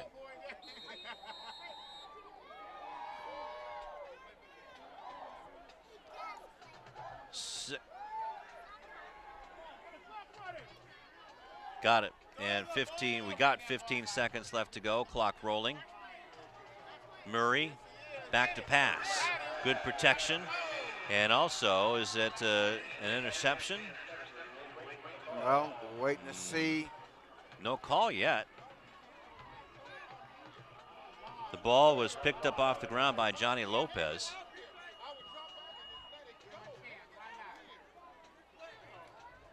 So let's see, the officials are conferring right in front of us. It is an interception by Johnny Lopez. Well, let's see if we've got that one on replay. Okay. See, the officials certainly don't have the benefit of instant replay, so we get to see. We'll. Uh, can't really see it well, from that angle, no, but well, you never that's know. what's called inconclusive evidence. All right, not enough to overturn the play, so it stands as an interception. I mean, don't sweat it, guys. Even NBC, ESPN, the NFL Network, they don't always get the angle. Who? Never heard of those guys. Yeah, we can't see okay. it. Can't see Good it either job by the defender. Anthony Gray was there the too. Yep. And there's McGuire. McGuire gets wrapped up and thrown down. A good tackle, open field tackle by Darius Flowers. And that's going to do it for the first half of play. Lawndale completely dominating, but the Monarchs are very giving guests here at Cardinal Stadium with a 27 to nothing lead. And let's go down to Sebastian. Hey, thanks a lot, guys. Lawndale, they took complete control of that game in the first half. I was over on the sideline with the Morningside Monarchs, and Coach Henderson basically gathered his offense and just told them, hey, if you guys want to be great, start off by making a great play. He was talking to his running back especially, talking to his quarterback, and talking to his wide receivers. He wants them to get going. We'll see can they do it in the, we'll see can they do it in the second half. Back to you. Thanks a lot, Sebastian. We'll try to add up some numbers for you and have the third quarter action coming up. And we'll be back after this on City TV. Hi, I'm Donnell Beverly from the University of Connecticut, home of the 2011 National Championship UConn Huskies basketball team, and you're losing your Olympians. Beverly around the back, follow away jumper. Good, beautiful shot. It wasn't too long ago that I was playing basketball right here. I just want to thank him for having me here. I'm, I'm honored to play here. And the Huskies are the top dog in 2011. Winning the NCAA championship has always been a goal of mine, but so is getting a great education that will last me a lifetime. You can achieve your goals too. All you have to do is work hard and dream hard, and you can do anything you put your mind to.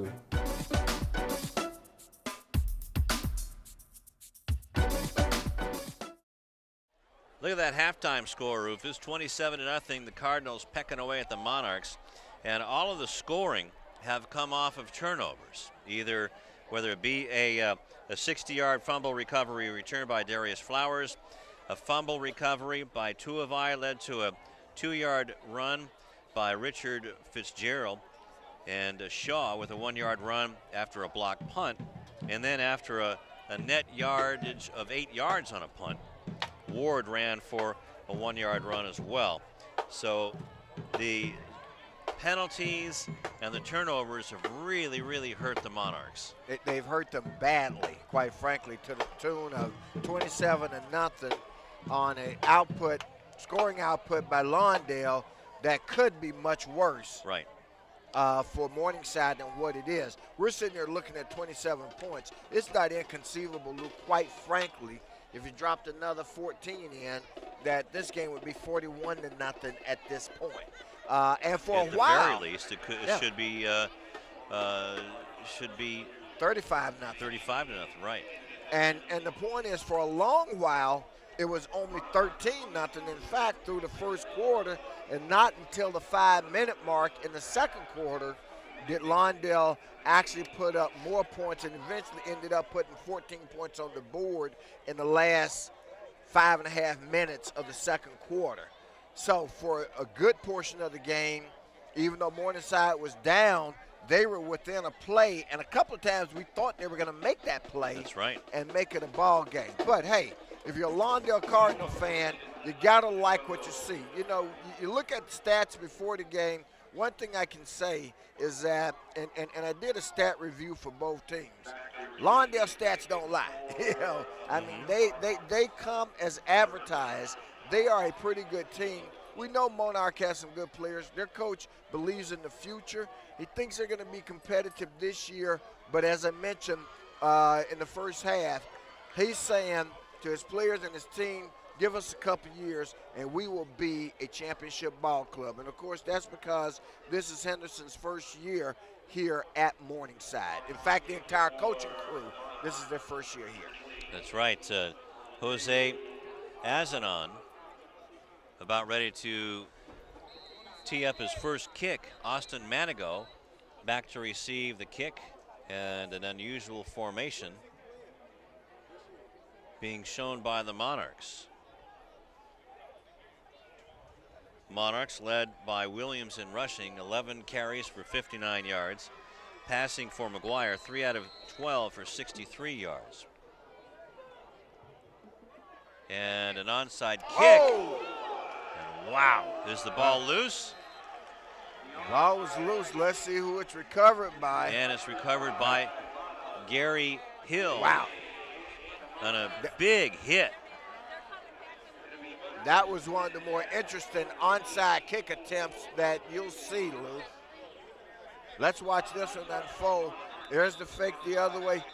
Ball's up. Its contact is made by and uh, by a Cardinal. So now timeout right away Wow. by the Monarchs. Let's take a look at that again if we can. Okay. As well as, okay, so Monarch. So there we see it again is whiff by Jonathan Hill and then Jose Azanon and then Richard Rivera was there. I believe that was Bryant Perkinson who was really smacked by the Monarch kick returner. And uh, a double, are we going to go down to Sebastian? Let's go to Sebastian.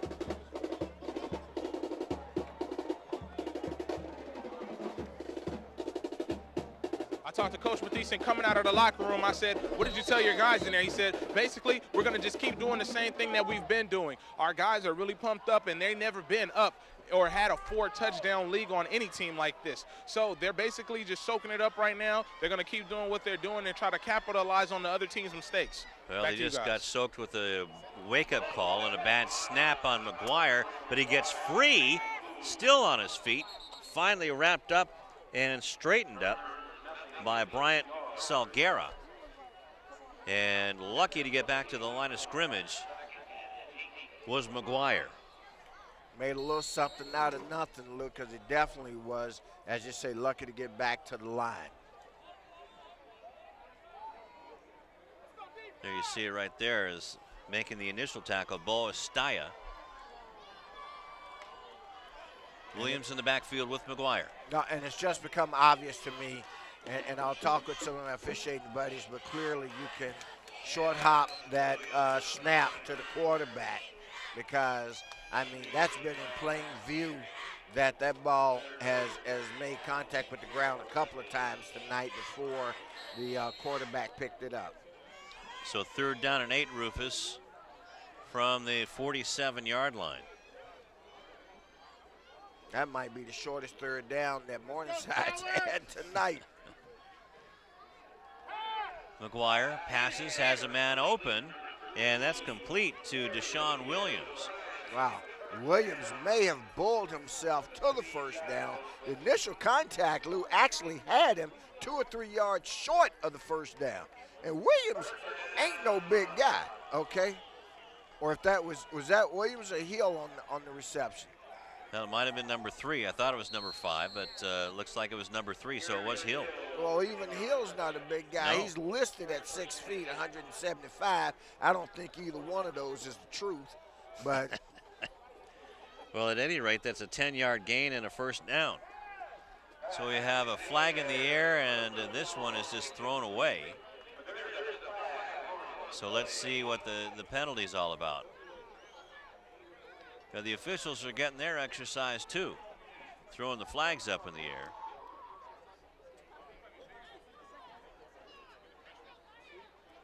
So if it's against the Monarchs, it'll be second down and long. Or first down and long. We'll just see. We'll have to wait and see. No penalty or what? Nope. Now you got illegal procedure on the Monarchs. And it looks like the Cardinals want to take the down instead of the yardage.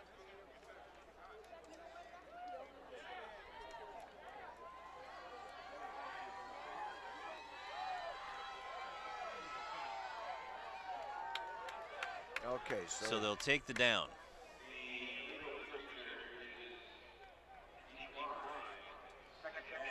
So didn't see where the movement was. Well, actually, there's Hill right there with the with the catch, and yeah, he got away from Lambert and Alexander to get that first down. So good play by Hill. so that penalty gets erased, even though it occurred because they declined it. So second down, McGuire on the pitch to Williams. Williams turns a corner, but a good shoestring tackle by the Cardinals. And that was Bryant Salguera.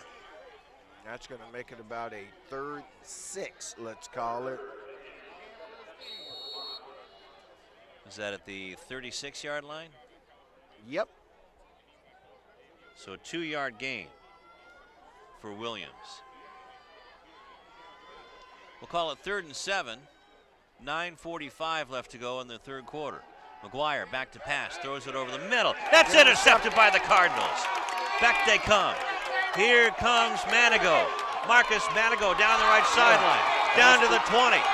Down to the 10. And cut from behind inside the 10 yard line. Austin Manigo with the big play for the Cardinals. We're going to call that, what, at about the 25 yard Yeah. line? At about the 25, maybe the replay will let us tie it down a little bit better. So that would be about a 70 yard return.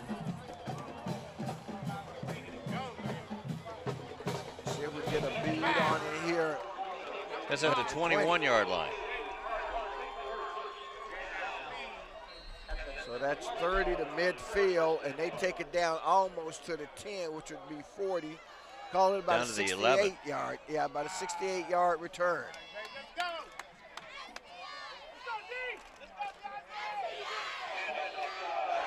So Evans gets the handoff.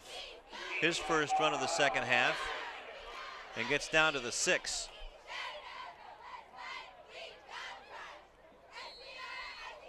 So five yards on the play. And coming into the half, Shaw had, excuse me, Shaw 53 yards on 14 carries and a touchdown.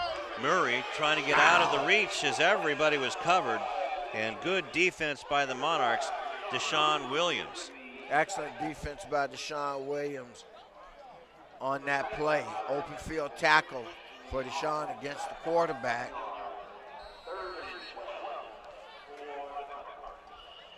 So that goes all the way back to about the 14 yard line. Definitely the 14, inside the 15. So a loss on the play of eight. And Shaw, well, that defense is really jacked up for the Monarchs. Well, it is, but you know that defense has also had a lot of work tonight. And just as we saw in the first half when they started to wear down, here the second half starts with them So two, under pressure again. two yards for shots, fourth down and 11, or call it 12. Still can get a first down and get four downs. And that was a definite offside as Manigo with the uh, false start.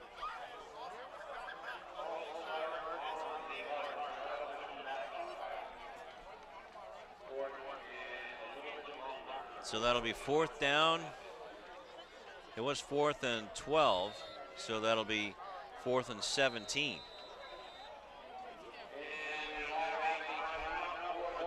So a timeout for the Cardinals. Okay, so each team has used one timeout, one of their three allotted timeouts here in the second half. So Lawndale has to get to the two yard line. Just trying to see exactly where that ball is marked. Looks like it's at the 20 yard line. So we'll call it fourth and 18. Right.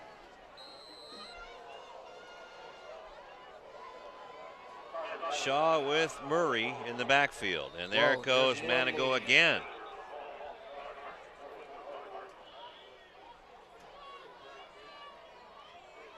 So Manigo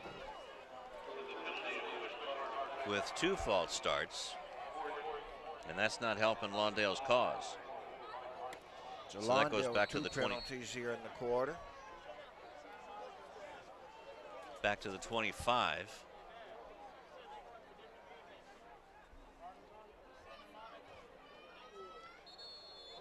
So now, do we have it on the other side? Would that be Johnny Rivera? Wow, I've never seen Wow. that. Wow, that's three consecutive. So back to the 30 yard line, Rufus, and they have to get to the two. Hmm. So it's fourth and 28. Yeah. Coach Matheson clapping encouragement and flashing signs. And they're still going to go for it. Back to pass is Murray. Swings it over and just dumps it to Shaw. now you got a flag on the play. The That's gonna question be a- is, is that going to be a roughing the passer, or is that going to be a um, an intentional grounding. intentional grounding? Well, Evans was there, Yeah, well, that's what I saw, so I can't. Yeah. roughing Wow. the passer. So that's an automatic first down. That's an automatic blow. Okay, so that's going to be Gonna call plus that. 15 to the 15. And I'm gonna call. Now here's the replay. So let's see if we can see the blow to the head. There's our friend number 70. Okay. Don't see it in that camera angle. Hamaj Ferguson with his forearm in the air. Okay, And that has to be awfully frustrating though for a coach, man. The number of penalties these guys have had tonight. That's their 15th penalty. hand off to DeAndre Shaw. Shaw almost got out of the tackle of the defensive specialist Sofili, but couldn't do it. But does just get back to the line of scrimmage, Rufus, and uh, maybe a two-yard gain. And here's the impact of that particular penalty as we see the replay here. DeAndre Shaw cutting it back inside. Defender there making contact, holding him up long enough to um, to for, to get him down. Rivera and Ramirez, two of the three receivers to the left. Back, swing pass, in and out of the hands of Manigo. But on that last drive, the point I was about to make, Lew, was a fourth and 28. Ball at the 30, needing to get to the two. Pretty much you're going to take, you would assume you're going to take over on downs. You got to think positive if you're Morningside and you give it all away with a personal foul, automatic first down penalty. And now it's third down and eight for the Cardinals. Pass into the end zone, caught, and that is That's a a touchdown. And you're going to have an injured Monarch on the field. Uh, that's Manigo with the touchdown play. You got an injured Monarch who was hit by his own teammate. And let's hope he's going to be okay. So Marcus Manigo also getting up. Here's the replay, Rufus. Oh, that was number 12 that got hit, Aaron Berry. And let's hope he's okay. So Manigo, there you see it right there. Well, that was Barry that got hit. Now I don't know the, who did the hit. Can we see that one more time, guys? 650 TD pass. Okay. Pass over. That's Barry. I can't see the. Yeah, we uh, can't see who that was. yet. Okay, it's 12 that gets hit. Ah, okay. But I don't see who who did the hit. I don't know. Can't see if there's a number 12. Well, we're going to take one it. more look at it. If we stay Another through it all the way through. Yeah, see, he lowers his head there. Now, if we see when he gets up, okay, it's number six. Appears to be number six. And let's see if that's a six. That looks like Johnny Lopez, but it was One number 12 who got hit, Aaron Berry. Let's it looks look like he got there. the wind knocked out of him. Just want to see over on the sideline if we see a six or a 12.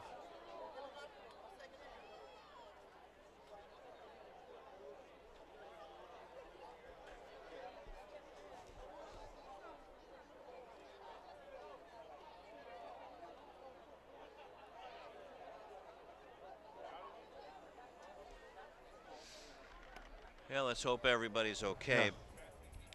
That's the most important part. It's 33 to nothing, though.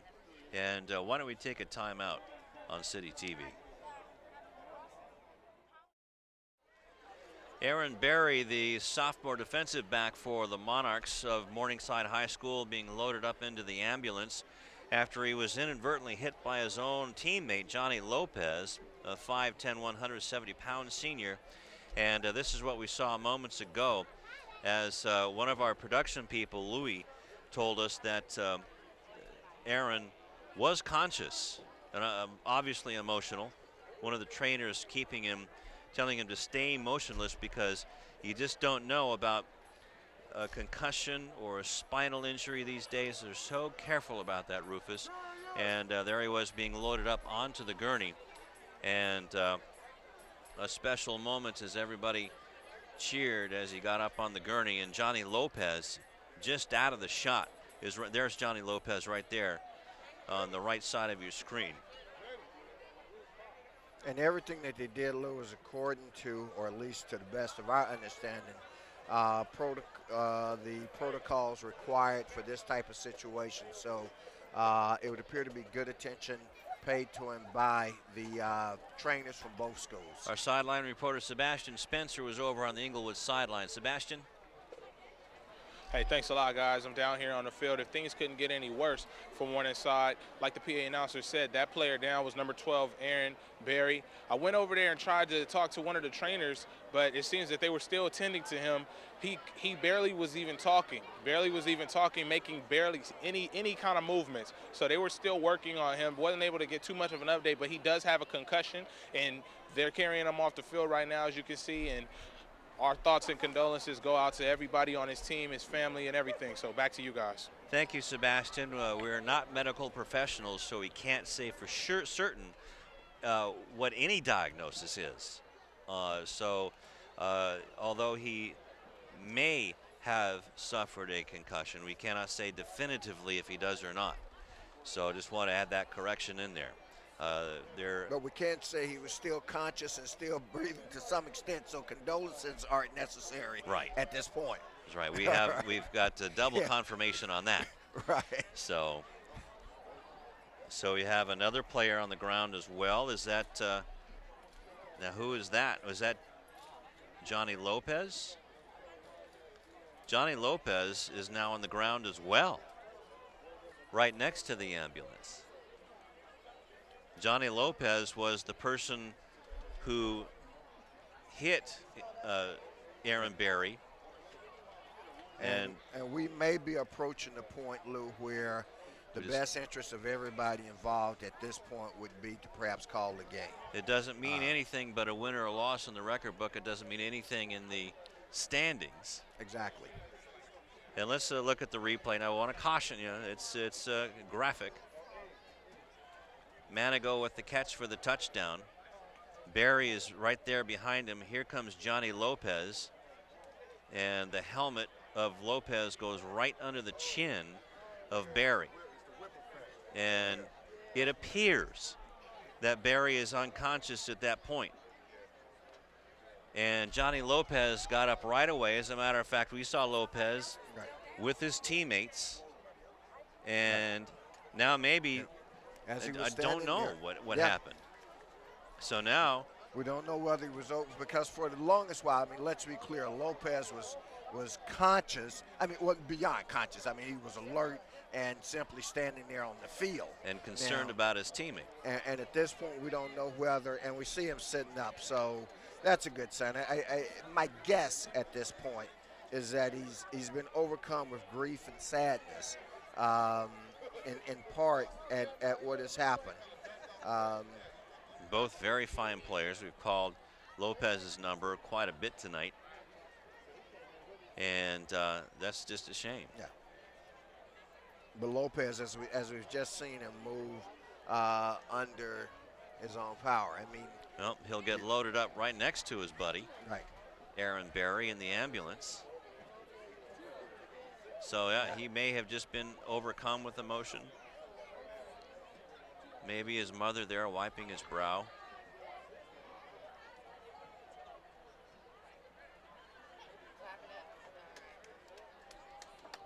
So now Johnny Lopez getting into the ambulance as well. Well, it's Now, my guess is, if you will, I, I think that the officials will, will will ask both coaches what their desire is. Now it looks like both teams are, are warming up. They may go back to playing. Um, it's been a stressful situation, but my guess is that they'll ask the coaches what they'd like to do at this point. Well, you have the principal and the assistant principal of Lawndale High School out there. And uh, the Cardinals are stretching to try to stay warm. Now the Monarchs are doing the same. Which is the whole point, which is something else that contributes to even further injuries because Right. now the players It's are- been about a half hour. warmed up. Yeah, at least at least a half hour. And, and I wish we had a clock on it. My guess is we're probably closer to 45 minutes at this point. I, well, yeah, I want to say, well, when we looked at our, our clock, it was 9 p.m. and we had uh, guessed that it was about 10 minutes before that. So 9:50 is what, or 8:50 is what I'm guessing. It's So be, that'd 9:20 be now. about 30 minutes. And as the officials on the field and the school officials decide what is going to happen with this game, why don't we take a timeout? We see Ben Wardup, the vice principal, and uh, Rich Matheson, the head coach, talking about it. So why don't we take a timeout as the Cardinals lead 33 to nothing on City TV.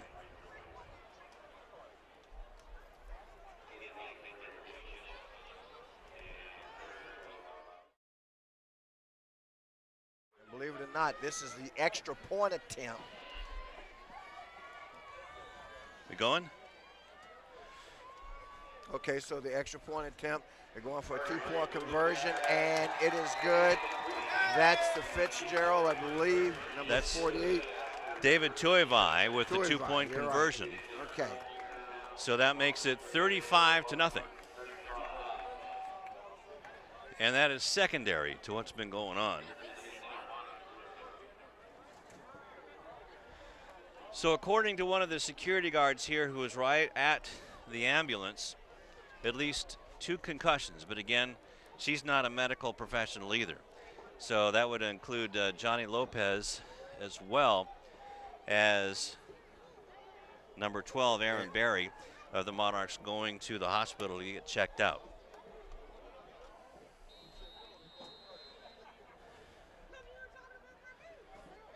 And 35 to nothing at the 650 mark. And there's the kick off. The kick is recovered by Jordan Payne. And we have another penalty flag right off the bat. That's flat. One flag is thrown in from the side, Judge.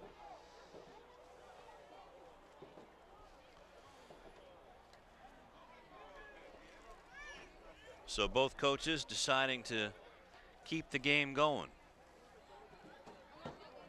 After a very unfortunate scene of events in a 35 to nothing game.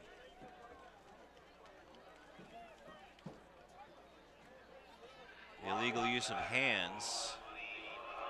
And that's on the Monarchs. So it'll be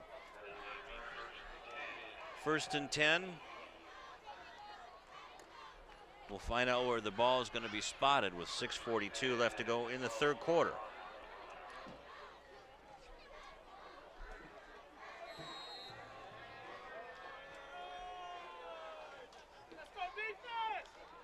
So we call it the 14 yard line, 15 yard line, we'll call it for Morningside. McGuire has Kristen Williams to his left. Pass to the left side, and it's caught. Caught by Hill, tackled immediately by Ryan Alexander, but not before a short gain. Actually, about a nine yard gain. It'll be second and one. McGuire having some difficulty handling the snap, but gains control and passes out in the flat to Hill. Like you said, nice completion, makes it second and one. Call it a six yard gain to the 21. Williams gets some open field running, gets spun around by Lambert, breaks the tackle, has a couple of Cardinals to beat, and Coleman finally tackles him deep inside of Cardinal territory, their deepest field position of the night, but a flag at midfield. A flag at midfield, boy, that's an interesting. The play was completely on the other side of the field. Got to be curious about what, what that one is. um,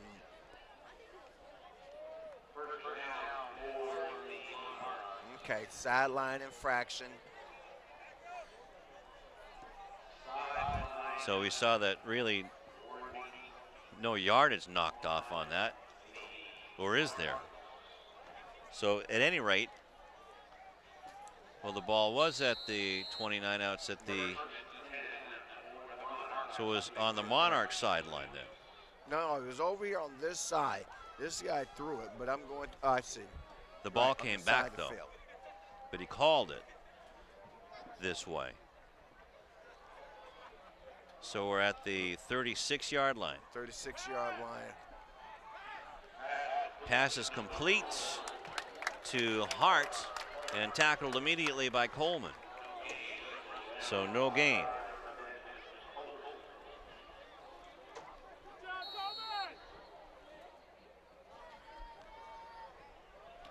Spread offense, not a whole lot of time to get down to Sebastian, but we will get to him as soon as we can. I'm sure he has another update on Johnny Lopez and Aaron Barry.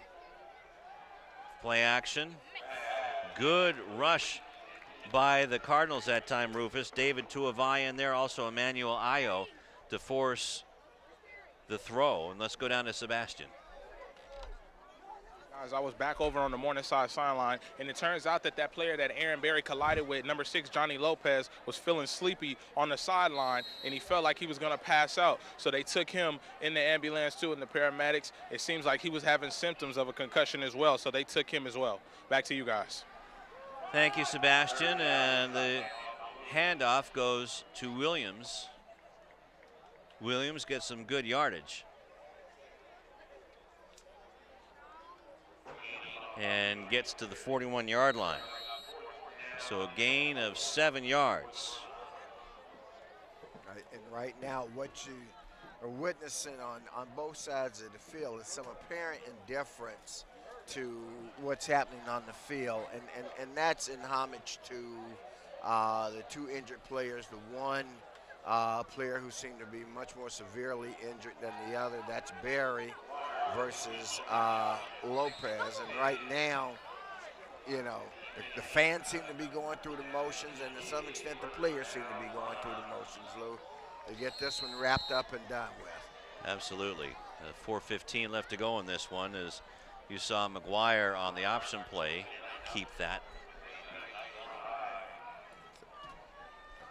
4:15 in the third. We still on the third? Okay. Right.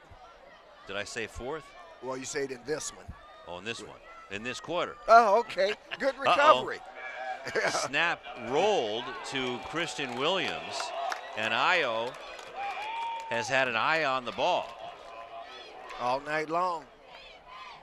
So this one goes all the way back to the 34 yard line. So a loss on the play of nine yards.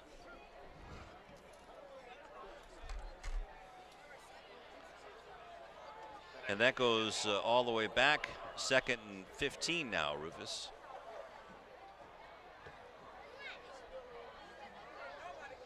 Two receivers on either side of McGuire. Looking over the middle, pass, it's caught. Away from a tackle is Charles Acano, and he bulls his way down inside the 10 yard line to the nine. First and 10, first and goal for the Monarchs. And somehow or another, Gary Hill ended up with the ball. Was it a fumble? I don't know, but we'll watch this play. Hill's going to end up with it. There's contact. Acano breaks that contact. Yep, the, the ball, ball does come loose. loose. Now, I think they'll probably rule, rule that he was down, but it's first and goal.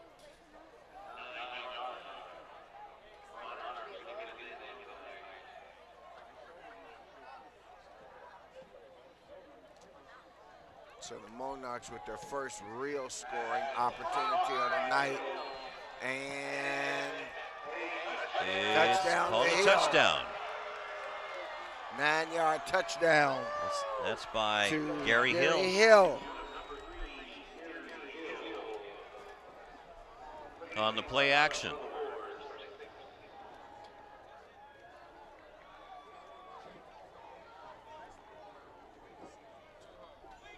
So 246 left to go in the third quarter. And the Monarchs get on the board. So I'd imagine that they're going to go for two. And Kristen Williams is holding his arms out like, let's get the play, coach.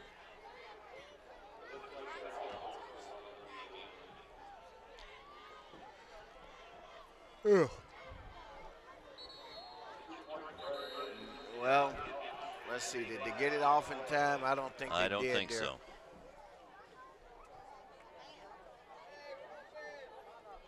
Well, it was illegal procedures, just about the same difference, and certainly consequences are the same. Each team has used one timeout here in the second half, so they both have two remaining timeouts two for Morningside, two for Lawndale.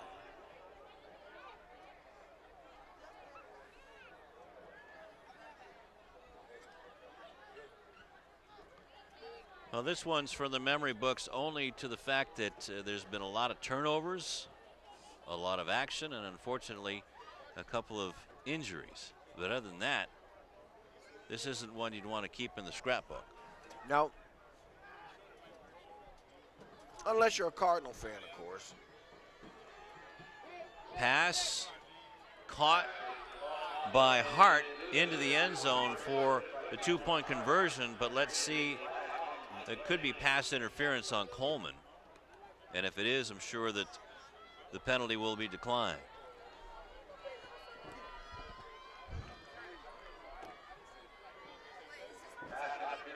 Pass interference on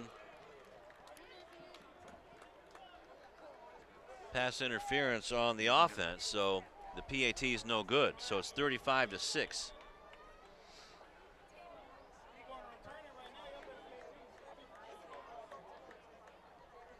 So a nine play drive, Rufus, that took four minutes. And 85 yards. So a good drive put together by the Monarchs. But they still have a long way to go as the Cardinals have flown out to a 35 to 6 lead. And would you anticipate the good hands team up front for the Cardinals? I think you should, and they, and that's where they are. They have two guys deep, but they've got nine up in the box, if you will. So we'll see what type of formation Coach Henderson puts for the special teams.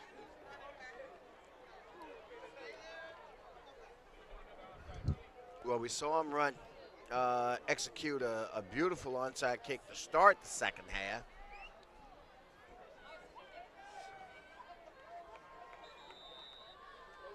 And then the Cardinals intercepted that. Manigo intercepted that, and then Manigo scored the touchdown. Now so we got a timeout being called by uh, Morningside. We'll see the official give, we'll see the referee give the indication, but they clearly called a timeout. So let's go back, way back on the game clock. Less than 10 minutes ago, eight minutes and 15 seconds, nine minutes and 15 seconds ago, there was an onside kick that was recovered by Gary Hill. Then from the 49 yard line, the pass was a pass was intercepted by Manigo at the 11 yard line. And then the Cardinals went 89 yards to the end zone to make it 35 to nothing with the two-point conversion good. And now the Monarchs have answered with an 85-yard drive of their own. Now they kick the ball away, and that goes over the head of Manigo, and if he doesn't touch it, it'll be a touchback. Bring it out to the 20-yard line.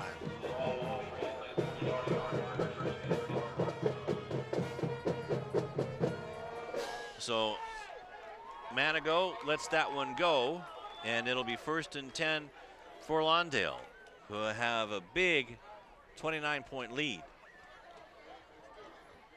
And An unusual luxury. An unusual luxury, certainly of this size, and certainly in forever since we've seen them have a 35 to nothing lead. Murray hands the ball off. And I believe that was that was Shaw with Fitzgerald in the background. It'll be second down and 10.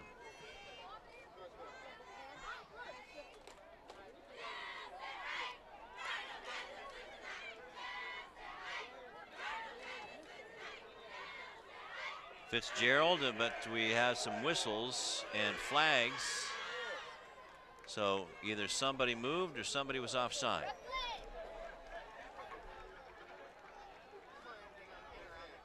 They're going to repeat second down. So an infraction, five yards against Lawndale. It'll be second and 15.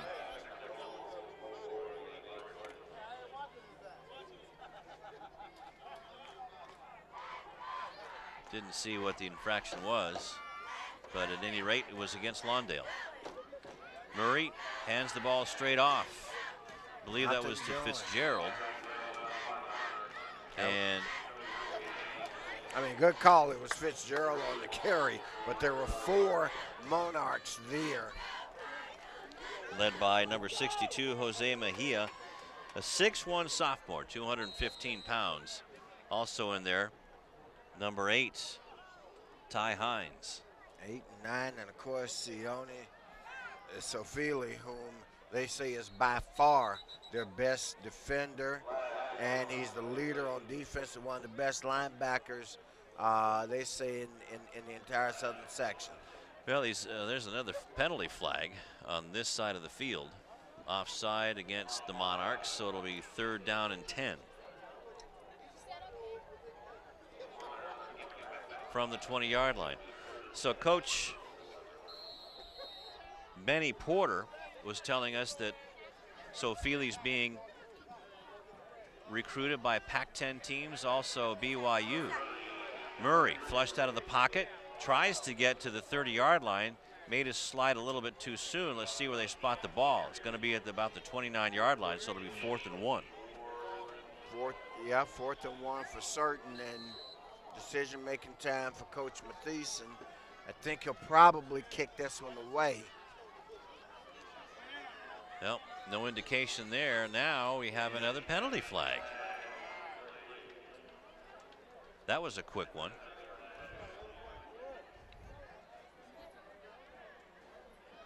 And wow, that's against the Monarchs and don't know what that was. But whatever it was, it's a first down. Well, again, it's another one of Was it the sideline Right, violation? it- it- Those sideline infractions.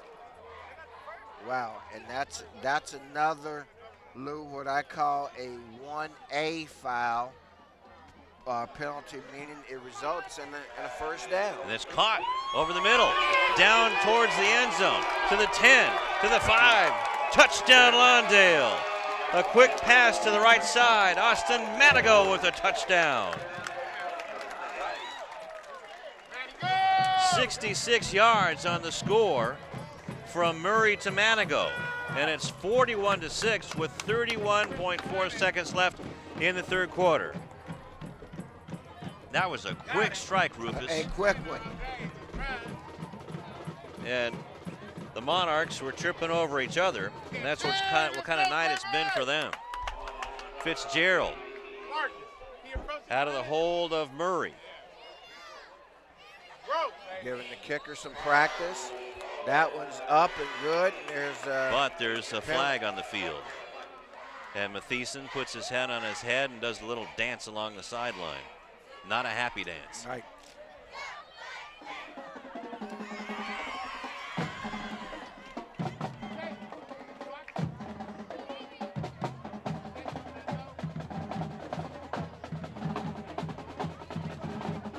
See what the call is. Offside on, well, Well, hold on. They're, they're asking them to come back. I think there was a miscommunication about the call. so the teams had walked off. And Frank Obregon had no players. Right. Well, that was because Lawndale was preparing to kick off. Now, what this would suggest, I'm not sure.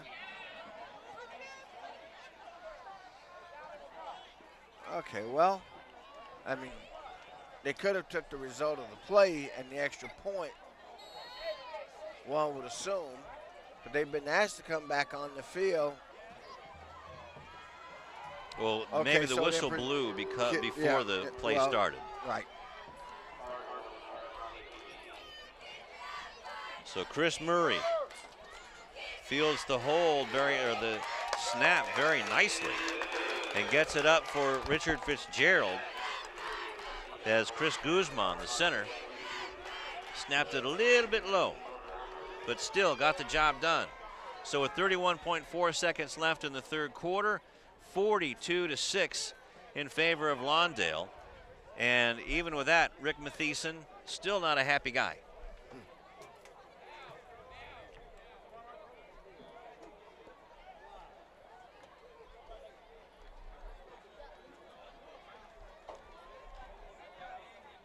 And that was four plays with all those penalties in there, Rufus. Right. And there's still 31.4 seconds left here in the third. 80 yard drive, and that took two minutes and 15 seconds. And still on his feet is the Monarchs ball carrier. And out of bounds on the far sideline, where it'll be first and 10 for the Monarchs at that point.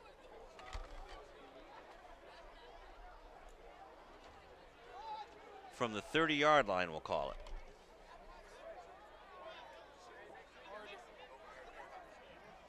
Carrying the ball was Darian Bryant. Darian, a 5'10 junior.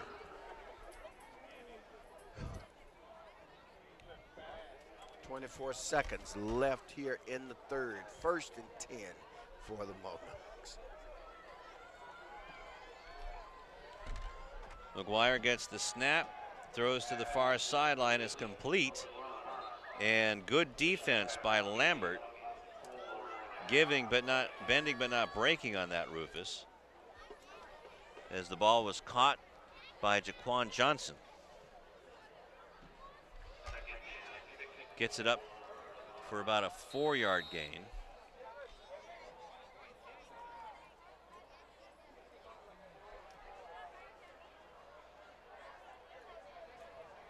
McGuire hands the ball off right up the middle. Williams looks like he got enough for the first down.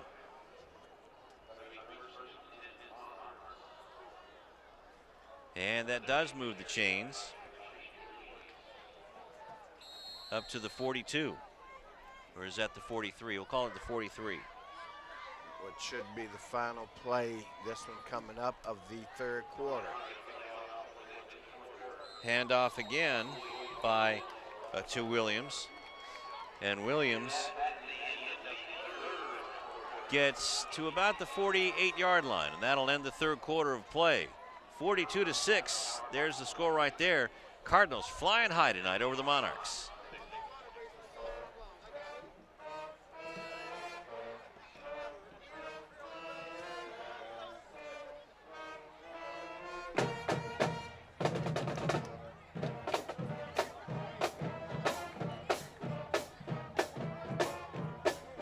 Five more yards for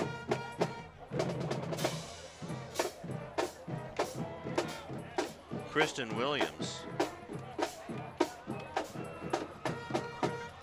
who's had an up and down game. Right. So what do you think about the Lawndale Cardinals performance despite getting a bunch of gifts tonight? What do I think about Lawndale's performance? Is that what you asked me? What do I think about Lawndale's performance? That's right, Tommy Lasorda. What was what do you think of Kingman's performance? Actually, the, the I've been impressed, and, and, and I got to say that it'll be interesting when they get to league play. Speaking of, I mean, let's kind of talk about for a moment the Lawndale schedule rest of the way. They've got Leuzinger uh, in a couple next week, actually, And we'll be there. and we'll be there on the Lawndale Meanwhile, Broadcast Network. yeah. meanwhile Williams trying to find some running room, but Isaiah Torres ran him down from behind. And guess who was there with him? Emmanuel Ayos. Watch this hit there. And I believe that was our old buddy David Tuivai who laid a lick on McGuire. So this one's a loss of two. Back to the 46.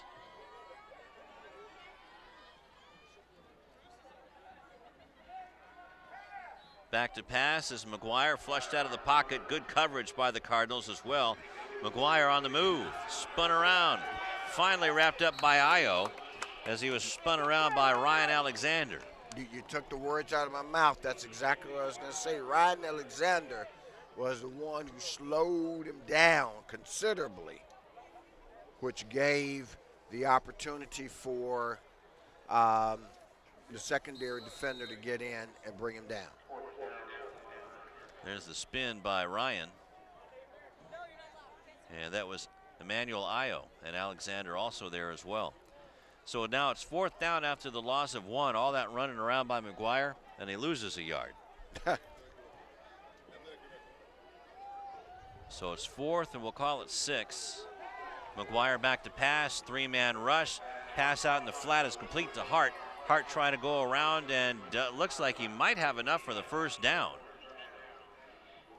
And surprise, no horse collar tackle, or certainly attempted horse collar being called there against the Hawthorne defender, uh, number six, Darius Flowers. So some nice blocking up front on that wide receiver screen, and that is going to be a turnover. And just as I was about to give the big man for Morningside some credit, I mean, he looked real Look good. that, that big real old lineman. close. Sorry about that, No, Rufus. no, on on on his uh, pursuit of the play, that was Ferguson, a senior, 6'3", 260.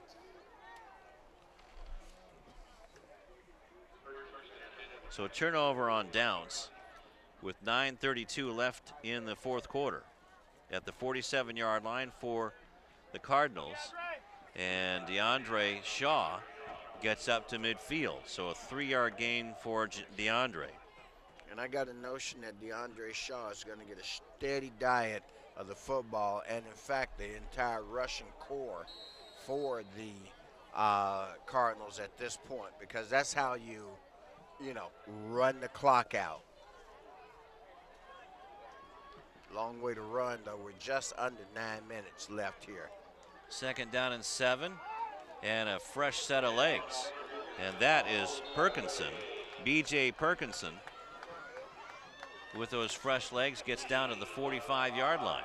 Perkinson and now we have another flag up in there. That's got to be some sort of a personal foul. Somebody trash talking. No. Perkinson, I was about to mention, had four catches last week for 77 yards, so he's he's a reliable receiver for uh, for the quarterback. For Chris Murray, had a good game.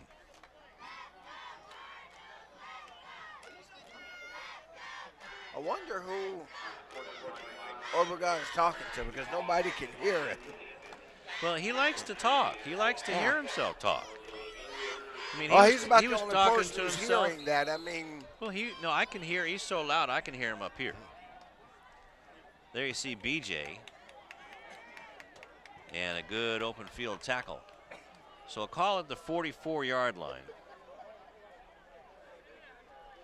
Where it'll be second down and a short two.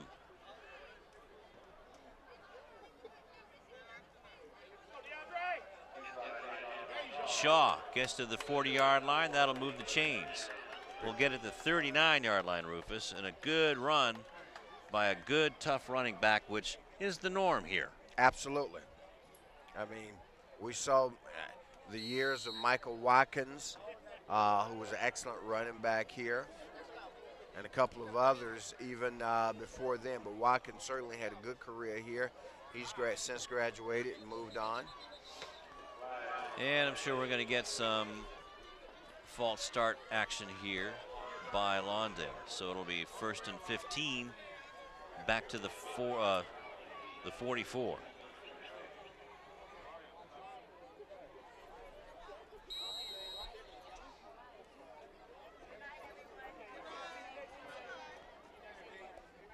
So late game offense, a running back behind Chris Murray, as well as to the side of him. And that's Perkinson. BJ gets almost gets that five yards back, but the Monarchs defense saying, uh-uh, we're not going to give you that back. But about a three-yard gain for Perkinson.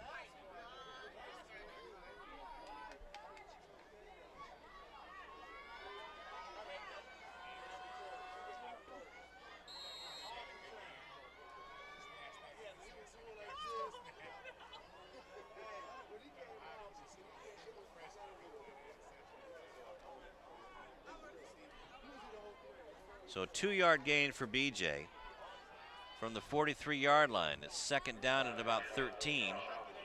Now Shaw gets back to the original line of scrimmage about the, yeah, close to it anyway, the 40 yard line. And all of this running, as I mentioned, uh, keeps the clock rolling, which is in the interest of everybody now. And well, the only thing we have to fear is that Sebastian is by himself, sideline reporting, and, and No he, fear. he may go for the record tonight for the most number of post-game interviews. Well, he- he- there's a lot to talk about tonight. And now bootleg on there eh, by Chris Murray. And suddenly my English fell off the truck. and down inside the 35 yard line. And that's not going to be a first down, but it'll be fourth down and short. Good defense by Jamar Hart on the open field tackle. So it'll be fourth and two. The clock continues to run with under 4:30 left here. 42-6 contest in favor of the homestanding Lawndale Cardinals. Seven yard gain for Murray on fourth and two now. Shaw with it, and Shaw gets run over by Sione Sofili. And that's turned over on downs. Like Rufus said, right up there, one of the best in the South Bay. You will see him playing on Saturdays next year. 6'1", 220 pounds. 340 clock running. So that was a six minute exchange by the Cardinals, chewing up clock time from the 34 yard line for the Monarchs. Williams looking for some running room, gets turned backwards, still with some forward progress, and gets it up to the 45.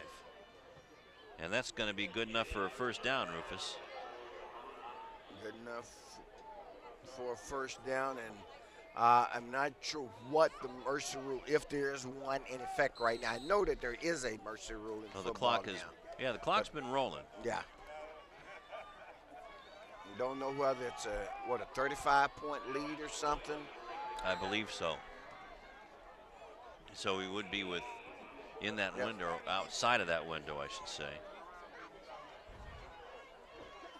or either this officiating crew has decided, I don't care what you say, we're, we this clock's gonna run and we're all getting out of here before 10 o'clock, and they got about three minutes to make it. you know. but there's only two and a half on on the game clock, so we may come within 30. About to narrow some margins with about 30 seconds to spare. McGuire is sacked by Tuivai and Io. They have been a tandem on defense to reckon with. And even though there's still three timeouts total remaining, Morningside has one, Lawndale has two. Both coaches are wisely not calling any timeouts as we're now under two minutes to go here in the contest. About six yards lost on the play, Rufus. And the defense is boxed in, but Williams trying to burst through it. Wow. One man to beat, and let's see if they can catch him. And just barely catching him from behind is B.J. Perkinson, probably the only man fast enough to catch him. With 125 and clock is still rolling. So that's going to be a first down, Rufus, from the 45 yard line of the Monarchs. Good run by Williams, as you see there, and boy, number 31. Yeah, the a guy guys with the really chains aren't in a big hurry. Going to call it at the five. Bad snap. Picked up by McGuire and is drugged down by Tuivai. Boy, Tuivai, he's he's put his name in that running for player of the game tonight.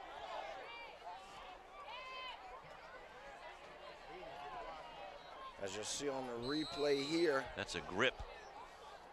And he's- Seven yard loss. and he's definitely in the running for the coveted tip of the head award. Oh, at the very least.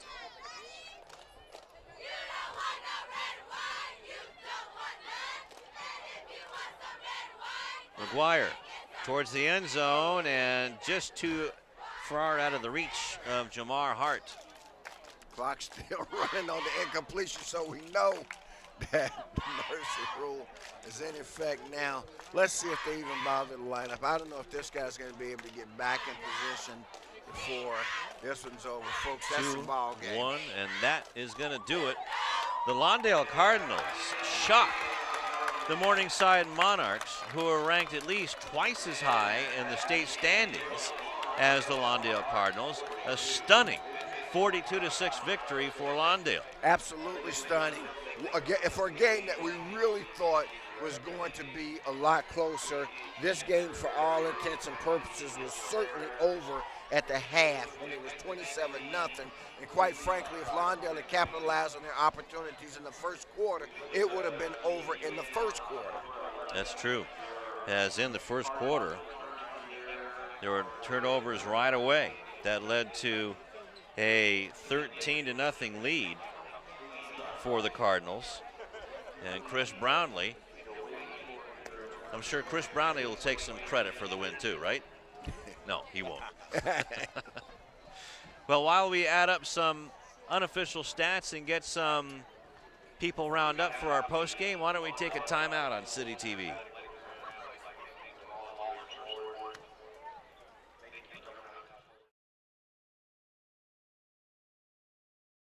Back at Lawndale High School, 42 to 6, the Cardinals over the Monarchs, and Sebastian Spencer has a special guest on the field. Hey, thanks a lot, guys. I'm here with Coach Matheson of the Cardinals. Coach, how do you think your guys played tonight? Uh, I think they played pretty well tonight. That defense gets uh, better and better every week. They're physical. They don't back down. They're going to go hit teams right in the mouth whenever they get a shot. And tonight we won the turnover game, and offense was able to capitalize. Still a lot of kinks to work out on the offense. I got a young quarterback, a young O line, um, but they're starting to come around. Uh, definitely. And do you think they corrected a lot of those mistakes from last week? Because I know one of the things you talked about was the turnovers, and you say you want you guys won that ratio with Morningside. What did you talk to them about in practice this week? Just, just focus. It's um, a lot of the turnovers had nothing to do with ability. It was just a lot of effort. You know, understanding that you can have all the athletic ability in the world, but if you don't put in the effort on the field, you're going to make mistakes like that. And just really focused on cleaning it up this week and just getting the kids to understand it's focus and effort, not don't always rely on what your ability is. Definitely. I know you talked about running the ball a lot today, and uh, before the game, that's what you said you wanted to do. But the pass was working a little bit. Talk about Austin and what he means to your team playing wideout. If that kid ever realizes his ability, he is a dangerous, dangerous receiver. And uh, luckily, he's only a junior. We got him back next year, and uh, he's going to do some damage this year. And just uh, again, it's getting the younger quarterback settled in. It's getting the uh, it's getting that O line settled in, and then really just once those guys get going, Austin's going to be a huge piece of this offense. Definitely. And I know you talked to me after halftime saying that this team is not used to having four touchdown leads and being up by that much. So what do you tell your guys to keep them grounded and ready for next week? Just keep doing the same thing. Why, why fix something if it ain't broken? You know, we came into the game nice and relaxed, ready to play. They go in at halftime. They got a little amped up, settled them back down. Don't change anything. Let's stay nice and relaxed. Let's stay loose. And then just have to have another good week of practice, keeping them relaxed, keeping them learning, and just keeping them focused. Good luck to you, Yeah, Coach. you. All right, good game. There you go, guys. Back to you. All right, thank you very much, Sebastian Spencer, and uh, terrific job by you. And uh, I guess we want to say right now that we just want to, before we forget, our thoughts and prayers go out to not only the Morningside family, but the Aaron Berry and Johnny Lopez family, as uh, they both were taken away on an ambulance after colliding head-on with each other on uh, Marcus Manigo's uh, touchdown catch. in the third quarter at six. Or Austin Manigo, excuse me. Right, and uh, you know, as you say, you know, when when when you're a parent of a football player, it's probably the worst thing you ever want to see happen on the field. But we have reason to believe, and that's all I can say. We have every reason to believe that both players are going to recover uh, and be fine. All right, time for our player of the game and our hat uh, of the game.